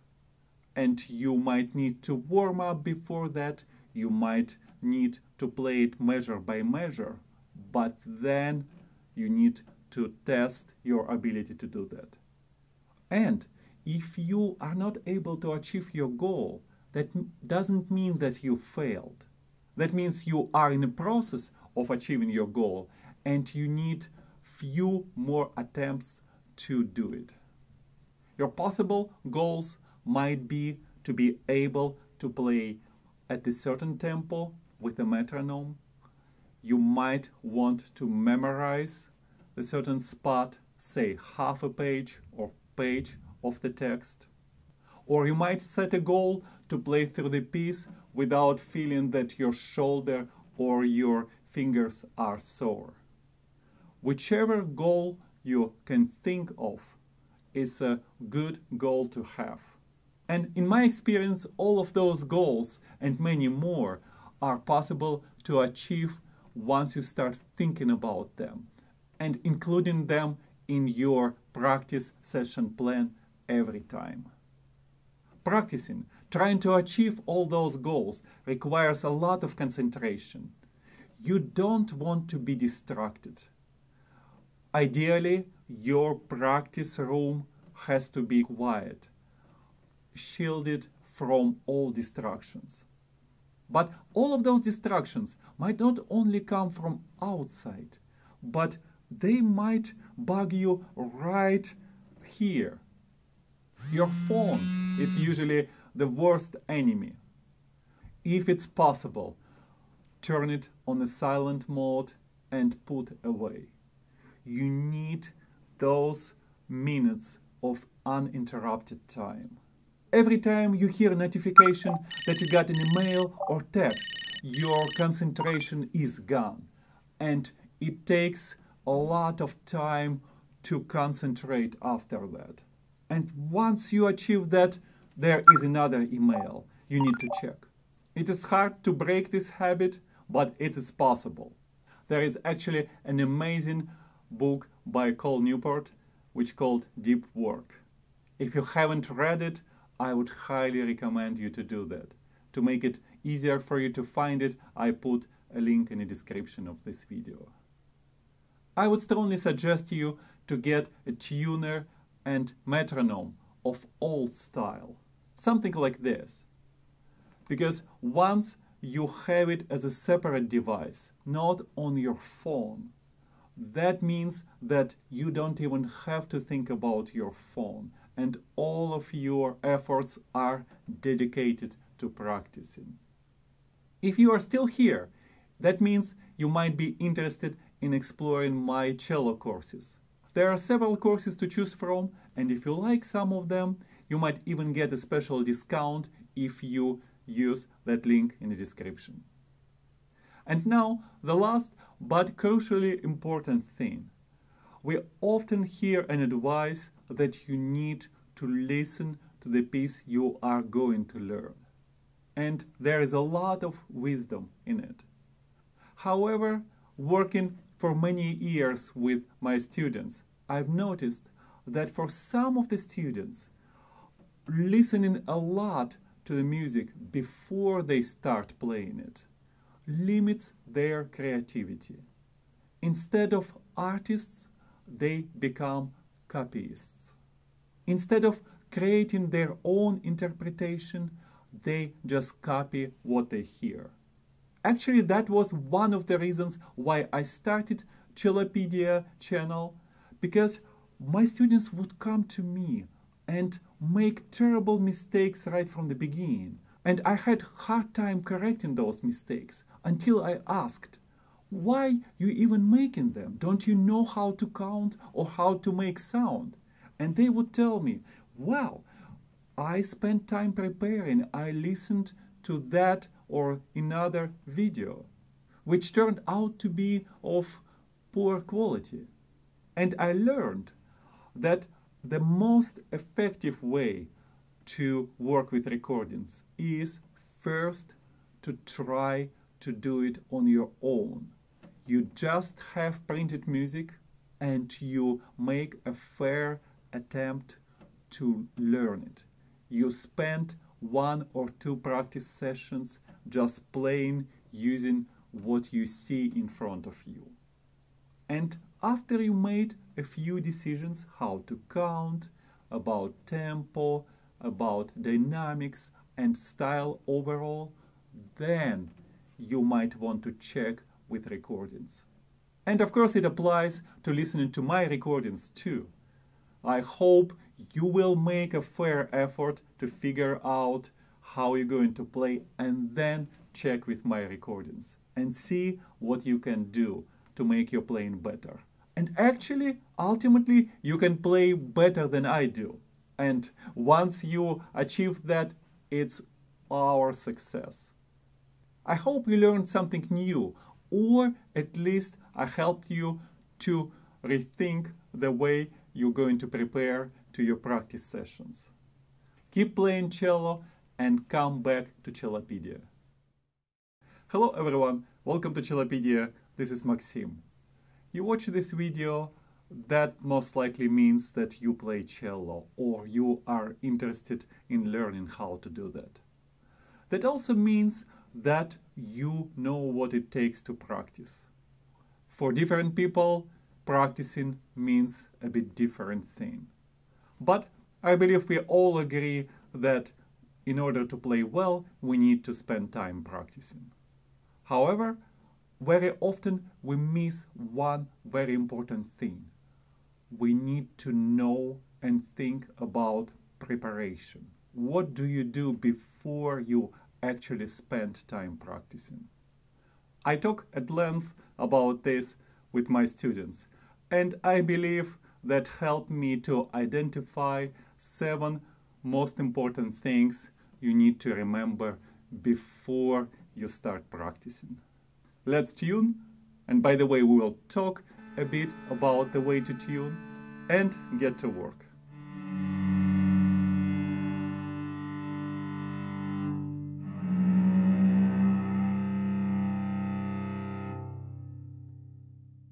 The first thing to do before you start practicing, check your instrument. And it seems to be so obvious, of course, I need to check my cello. But it happens so often that we forget about at least one of the important things. Let's check it together, step by step. Make sure that your strings are clean. It is not just for looks. Usually, even after one day of practicing, you will have excessive rosin stuck to your strings. And that will make it harder to start the bow stroke. The string will not respond as quickly as it can. You need to have a soft, fairly clean cloth and remove rosin before you practice and ideally after you do that. I'm going to clean my strings right now, but for very sensitive people, you might want to turn your volume a bit down because most likely you will not like sound you're going to hear. It will not work if you just gently touch strings. You will need to put a little bit extra force to remove rosin.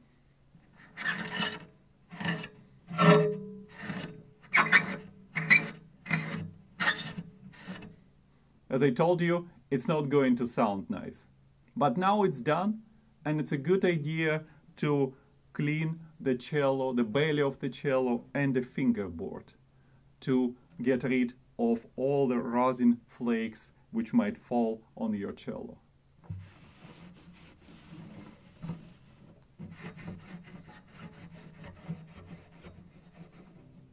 If you forget clean this cello this way for one day, probably not a big deal, but a week or let alone a month will make a difference and it will be much harder to remove this rosin. Your strings are now clean, there is no excessive rosin on them. That means you need to put some extra rosin on your bow. And my advice to do it right before you start practicing. If you do it every day, you don't have to do it a lot. Just gently rub the bow against the cake and that will be enough. Don't worry, the rosin will spread along the hair and if there is a bit too much of rosin, don't worry, once you start playing, the excess of the rosin will quickly fall down. Now you are ready to start tuning your cello. And yes, you have to tune your cello every time before you play it. And very often you have to do it several times during a long practice session. We need to check an A with a tuner. Most of people tune it with A440. Of course, the cello A is one octave lower than that, so it will be 220. But uh, if you set your digital tuner to 440, that will definitely be exactly what you need. And after that, if you have some experience playing cello, I would suggest you to try to tune listening the combination of the next string with the string you already tuned.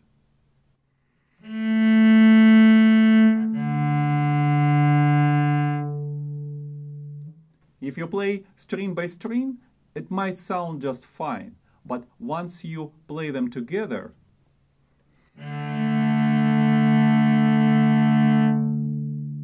it might not actually sound as perfect as it could be.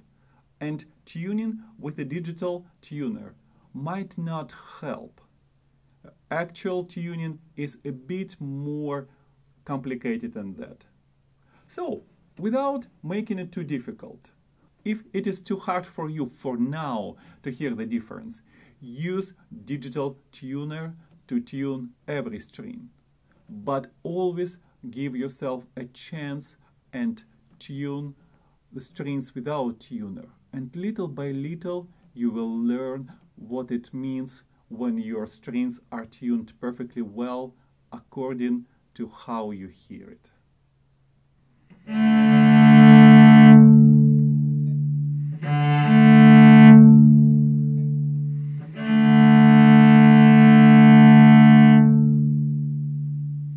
There is such a beauty when you hear two strings tuned perfectly well.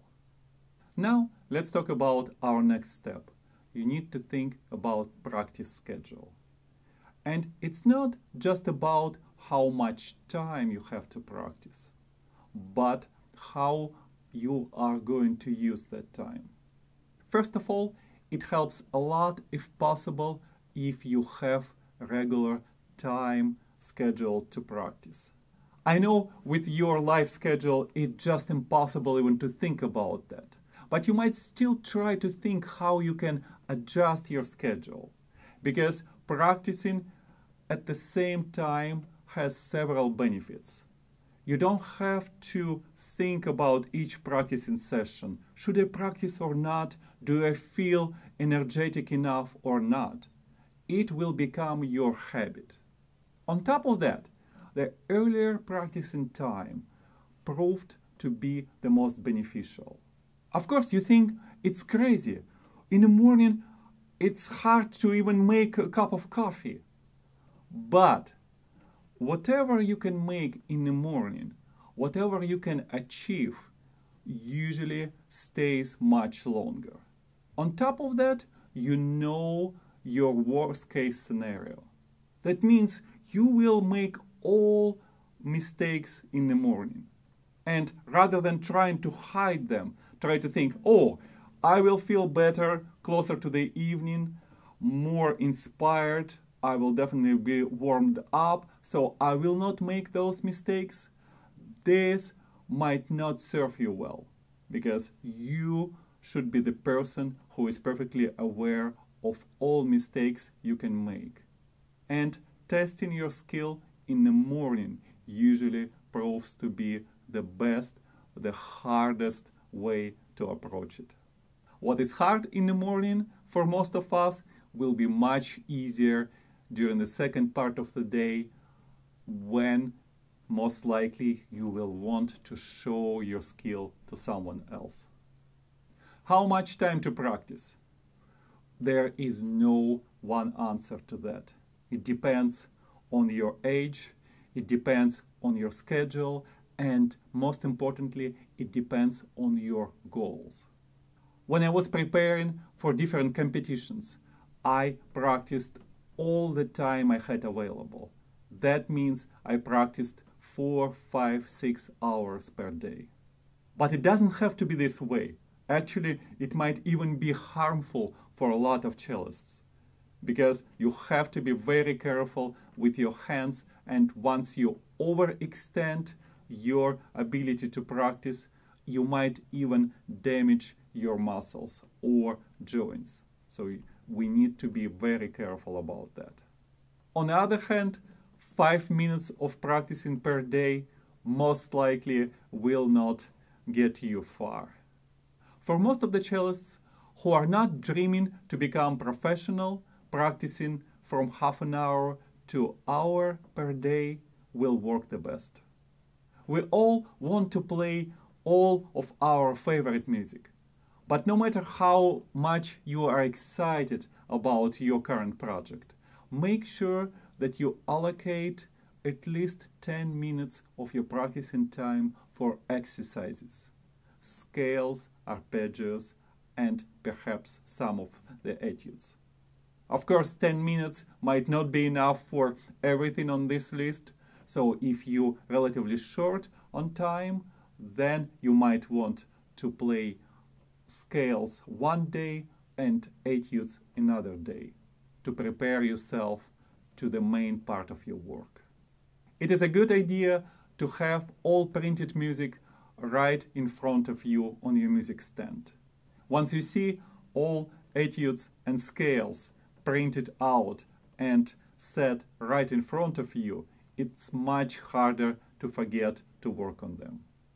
And don't forget about this magic tool, a pencil. You must have it on your music stand. I haven't met any decent musician who wouldn't work with a pencil. That means that you have to mark all of your ideas in music. Of course, it doesn't mean that you have to write a story in your music, but you might be able to add extra fingerings.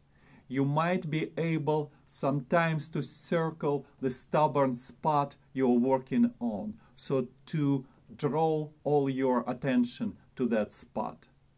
You might want to highlight dynamics.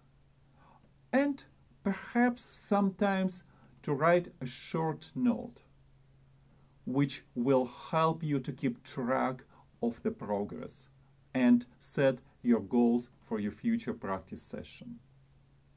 Make sure that your hands are warm. Right before you start playing, make sure that you do basic exercises, rub your hands against each other, and when you start playing, start with something easy. And you will see that few minutes into practice session, you will feel that your fingers, your hands are ready to play. It is extremely helpful to set goals for each practice session. It doesn't have to be anything big. Not to memorize entire concerto after one hour of work but it has to be something like playing through the certain spot without making mistakes. And you might need to warm up before that, you might need to play it measure by measure, but then you need to test your ability to do that. And if you are not able to achieve your goal, that doesn't mean that you failed. That means you are in the process of achieving your goal and you need few more attempts to do it. Your possible goals might be to be able to play at a certain tempo with a metronome. You might want to memorize a certain spot, say half a page or page of the text. Or you might set a goal to play through the piece without feeling that your shoulder or your fingers are sore. Whichever goal you can think of is a good goal to have. And in my experience, all of those goals and many more are possible to achieve once you start thinking about them and including them in your practice session plan every time. Practicing, trying to achieve all those goals requires a lot of concentration. You don't want to be distracted. Ideally, your practice room has to be quiet, shielded from all distractions. But all of those distractions might not only come from outside, but they might bug you right here. Your phone is usually the worst enemy. If it's possible, turn it on a silent mode and put away. You need those minutes of uninterrupted time. Every time you hear a notification that you got an email or text, your concentration is gone. And it takes a lot of time to concentrate after that. And once you achieve that, there is another email you need to check. It is hard to break this habit, but it is possible. There is actually an amazing book by Cal Newport which called Deep Work. If you haven't read it, I would highly recommend you to do that. To make it easier for you to find it, I put a link in the description of this video. I would strongly suggest you to get a tuner and metronome of old style, something like this. Because once you have it as a separate device, not on your phone, that means that you don't even have to think about your phone and all of your efforts are dedicated to practicing. If you are still here, that means you might be interested in exploring my cello courses. There are several courses to choose from, and if you like some of them, you might even get a special discount if you use that link in the description. And now, the last but crucially important thing. We often hear an advice that you need to listen to the piece you are going to learn. And there is a lot of wisdom in it. However, working for many years with my students, I've noticed that for some of the students, listening a lot to the music before they start playing it limits their creativity. Instead of artists, they become copyists. Instead of creating their own interpretation, they just copy what they hear. Actually, that was one of the reasons why I started Cellopedia channel, because my students would come to me and make terrible mistakes right from the beginning. And I had hard time correcting those mistakes until I asked, why you even making them? Don't you know how to count or how to make sound? And they would tell me, well, I spent time preparing. I listened to that or another video, which turned out to be of poor quality. And I learned that the most effective way to work with recordings is first to try to do it on your own.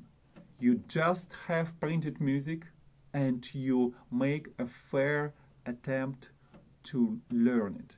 You spend one or two practice sessions just playing using what you see in front of you. And after you made a few decisions how to count, about tempo, about dynamics and style overall, then you might want to check with recordings. And of course, it applies to listening to my recordings too.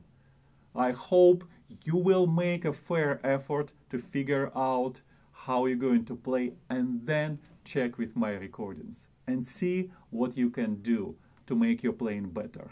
And actually, ultimately, you can play better than I do. And once you achieve that, it's our success. I hope you learned something new, or at least I helped you to rethink the way you're going to prepare to your practice sessions. Keep playing cello and come back to Cellopedia. Hello everyone, welcome to Cellopedia, this is Maxim. You watch this video, that most likely means that you play cello or you are interested in learning how to do that. That also means that you know what it takes to practice. For different people, practicing means a bit different thing. But I believe we all agree that in order to play well, we need to spend time practicing. However, very often we miss one very important thing. We need to know and think about preparation. What do you do before you actually spend time practicing? I talk at length about this with my students, and I believe that helped me to identify seven most important things you need to remember before you start practicing. Let's tune, and by the way, we will talk a bit about the way to tune and get to work.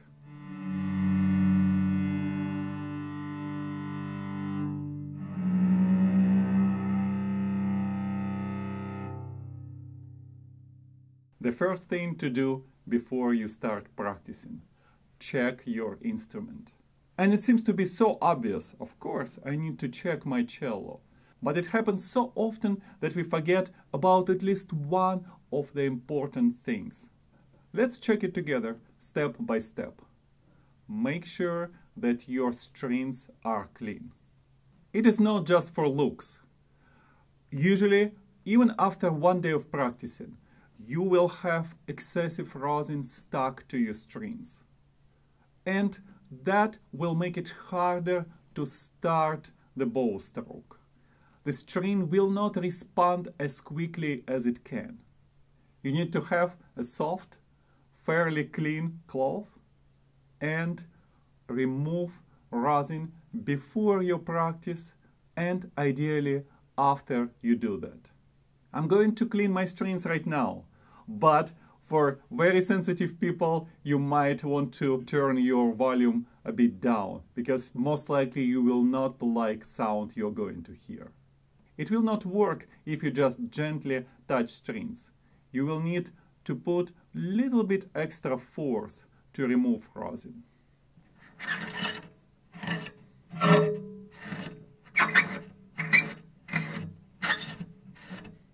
As I told you, it's not going to sound nice.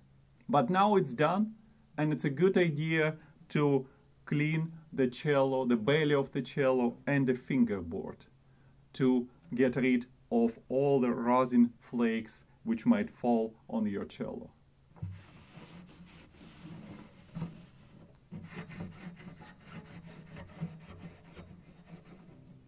If you forget cleaning this cello this way for one day, probably not a big deal, but a week or let alone a month, will make a difference and it will be much harder to remove this rosin. Your strings are now clean, there is no excessive rosin on them. That means you need to put some extra rosin on your bow. And my advice to do it right before you start practicing. If you do it every day, you don't have to do it a lot. Just gently rub the bow against the cake and that will be enough.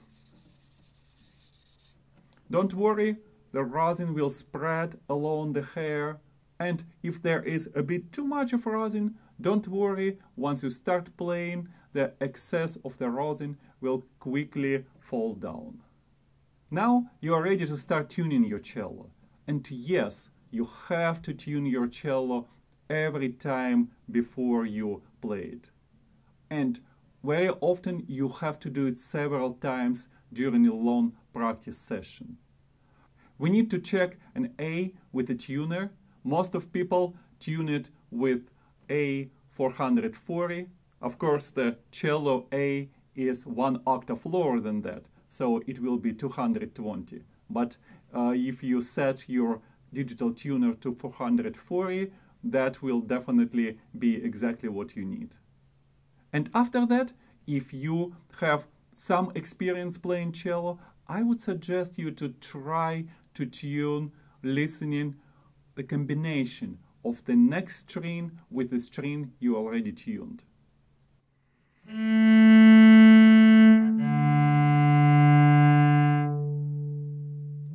If you play string by string, it might sound just fine, but once you play them together,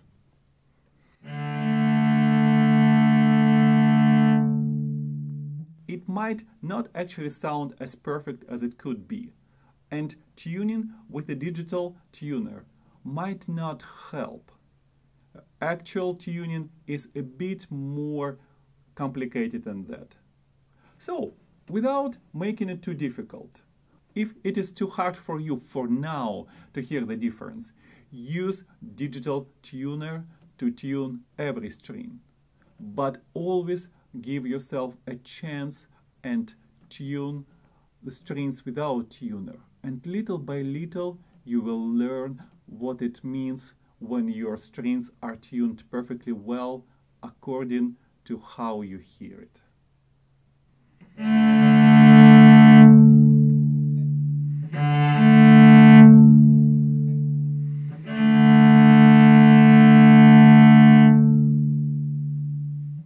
Is such a beauty when you hear two strings tuned perfectly well. Now let's talk about our next step. You need to think about practice schedule. And it's not just about how much time you have to practice, but how you are going to use that time. First of all, it helps a lot if possible if you have regular time schedule to practice. I know with your life schedule, it's just impossible even to think about that. But you might still try to think how you can adjust your schedule. Because practicing at the same time has several benefits. You don't have to think about each practicing session. Should I practice or not? Do I feel energetic enough or not? It will become your habit. On top of that, the earlier practice in time proved to be the most beneficial. Of course, you think it's crazy. In the morning, it's hard to even make a cup of coffee. But whatever you can make in the morning, whatever you can achieve, usually stays much longer. On top of that, you know your worst case scenario. That means you will make all mistakes in the morning. And rather than trying to hide them, try to think, oh, I will feel better closer to the evening, more inspired. I will definitely be warmed up, so I will not make those mistakes. This might not serve you well because you should be the person who is perfectly aware of all mistakes you can make and testing your skill in the morning usually proves to be the best, the hardest way to approach it. What is hard in the morning for most of us will be much easier during the second part of the day when most likely you will want to show your skill to someone else. How much time to practice? There is no one answer to that. It depends on your age, it depends on your schedule, and most importantly, it depends on your goals. When I was preparing for different competitions, I practiced all the time I had available. That means I practiced four, five, six hours per day. But it doesn't have to be this way. Actually, it might even be harmful for a lot of cellists because you have to be very careful with your hands and once you overextend your ability to practice you might even damage your muscles or joints. So we need to be very careful about that. On the other hand five minutes of practicing per day most likely will not get you far. For most of the cellists who are not dreaming to become professional, practicing from half an hour to hour per day will work the best. We all want to play all of our favorite music. But no matter how much you are excited about your current project, make sure that you allocate at least 10 minutes of your practicing time for exercises, scales, arpeggios, and perhaps some of the etudes. Of course, 10 minutes might not be enough for everything on this list, so if you're relatively short on time, then you might want to play scales one day and etudes another day to prepare yourself to the main part of your work. It is a good idea to have all printed music right in front of you on your music stand. Once you see all etudes and scales printed out and set right in front of you, it's much harder to forget to work on them. And don't forget about this magic tool, a pencil. You must have it on your music stand. I haven't met any decent musician who wouldn't work with the pencil. That means that you have to mark all of your ideas in music. Of course, it doesn't mean that you have to write a story in your music, but you might be able to add extra fingerings.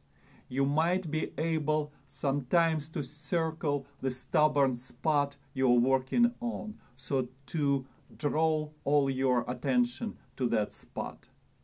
You might want to highlight dynamics and perhaps sometimes to write a short note which will help you to keep track of the progress and set your goals for your future practice session. Make sure that your hands are warm. Right before you start playing, make sure that you do basic exercises, rub your hands against each other, and when you start playing, start with something easy. And you will see that few minutes into practice session, you will feel that your fingers, your hands are ready to play. It is extremely helpful to set goals for each practice session. It doesn't have to be anything big. Not to memorize entire concerto after one hour of work. But it has to be something like playing through the certain spot without making mistakes. And you might need to warm up before that, you might need to play it measure by measure, but then you need to test your ability to do that. And if you are not able to achieve your goal, that doesn't mean that you failed. That means you are in the process of achieving your goal and you need few more attempts to do it. Your possible goals might be to be able to play at a certain tempo with a metronome. You might want to memorize a certain spot, say half a page or page of the text. Or you might set a goal to play through the piece without feeling that your shoulder or your fingers are sore. Whichever goal you can think of is a good goal to have. And in my experience, all of those goals and many more are possible to achieve once you start thinking about them and including them in your practice session plan every time. Practicing, trying to achieve all those goals requires a lot of concentration. You don't want to be distracted. Ideally, your practice room has to be quiet, shielded from all distractions. But all of those distractions might not only come from outside, but they might bug you right here. Your phone is usually the worst enemy. If it's possible, turn it on a silent mode and put away. You need those minutes of uninterrupted time. Every time you hear a notification that you got an email or text, your concentration is gone. And it takes a lot of time to concentrate after that. And once you achieve that, there is another email you need to check. It is hard to break this habit, but it is possible. There is actually an amazing book by Cal Newport which called Deep Work. If you haven't read it, I would highly recommend you to do that. To make it easier for you to find it, I put a link in the description of this video. I would strongly suggest you to get a tuner and metronome of old style, something like this. Because once you have it as a separate device, not on your phone, that means that you don't even have to think about your phone and all of your efforts are dedicated to practicing. If you are still here, that means you might be interested in exploring my cello courses. There are several courses to choose from, and if you like some of them, you might even get a special discount if you use that link in the description. And now, the last but crucially important thing.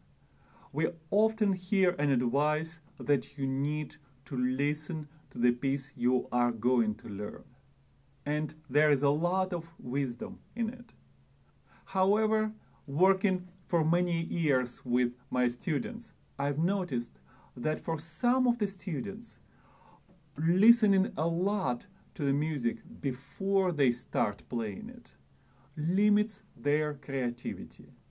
Instead of artists, they become copyists. Instead of creating their own interpretation, they just copy what they hear. Actually, that was one of the reasons why I started Cellopedia channel because my students would come to me and make terrible mistakes right from the beginning. And I had hard time correcting those mistakes until I asked, why you even making them? Don't you know how to count or how to make sound? And they would tell me, well, I spent time preparing. I listened to that or another video, which turned out to be of poor quality. And I learned that the most effective way to work with recordings is first to try to do it on your own. You just have printed music and you make a fair attempt to learn it. You spend one or two practice sessions just playing using what you see in front of you. And after you made a few decisions how to count, about tempo, about dynamics and style overall, then you might want to check with recordings. And of course it applies to listening to my recordings too. I hope you will make a fair effort to figure out how you're going to play and then check with my recordings and see what you can do to make your playing better. And actually, ultimately, you can play better than I do. And once you achieve that, it's our success. I hope you learned something new, or at least I helped you to rethink the way you're going to prepare to your practice sessions. Keep playing cello and come back to Cellopedia. Hello everyone, welcome to Cellopedia, this is Maxim. You watch this video, that most likely means that you play cello or you are interested in learning how to do that. That also means that you know what it takes to practice. For different people, practicing means a bit different thing. But I believe we all agree that in order to play well, we need to spend time practicing. However, very often we miss one very important thing. We need to know and think about preparation. What do you do before you actually spend time practicing? I talk at length about this with my students, and I believe that helped me to identify seven most important things you need to remember before you start practicing. Let's tune, and by the way, we will talk a bit about the way to tune and get to work.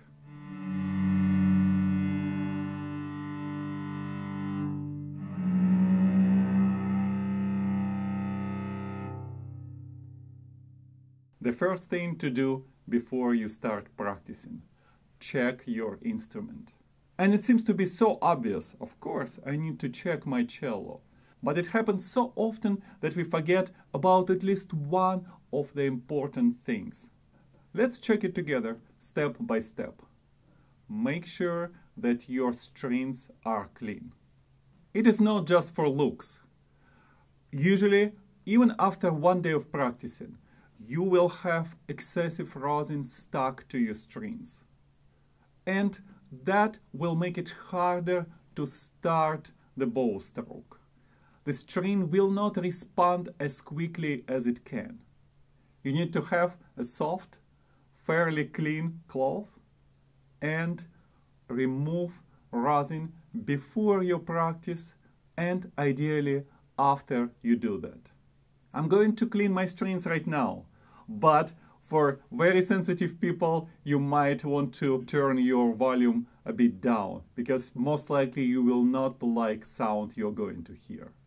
It will not work if you just gently touch strings. You will need to put a little bit extra force to remove rosin.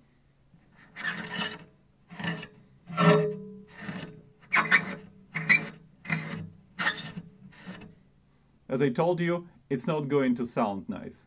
But now it's done, and it's a good idea to clean the cello, the belly of the cello, and the fingerboard to get rid of all the rosin flakes which might fall on your cello.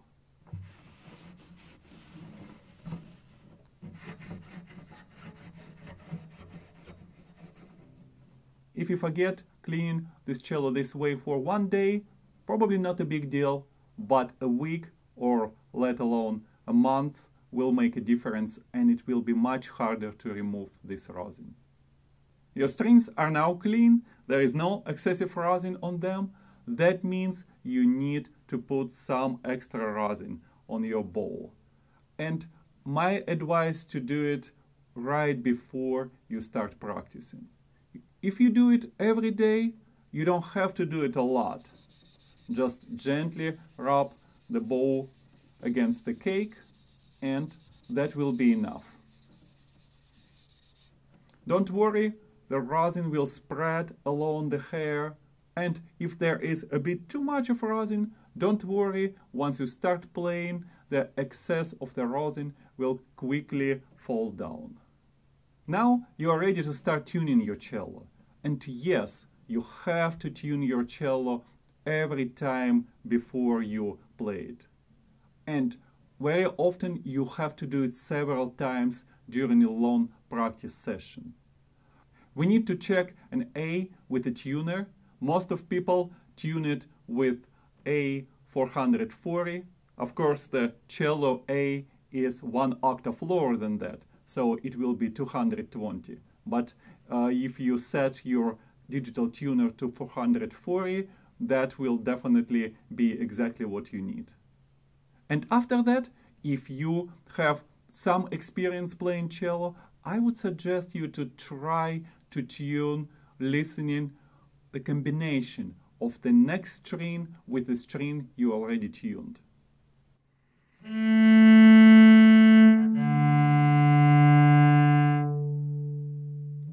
If you play string by string, it might sound just fine, but once you play them together,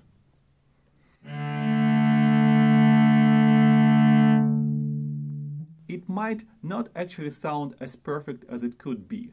And tuning with a digital tuner might not help.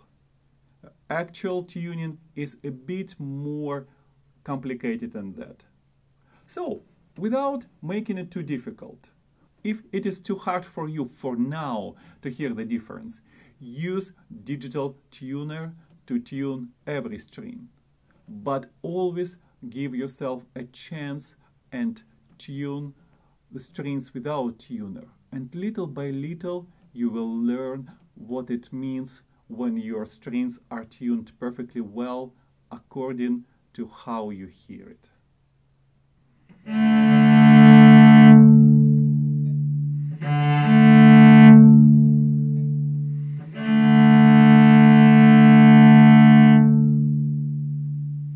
There is such a beauty when you hear two strings tuned perfectly well. Now let's talk about our next step. You need to think about practice schedule.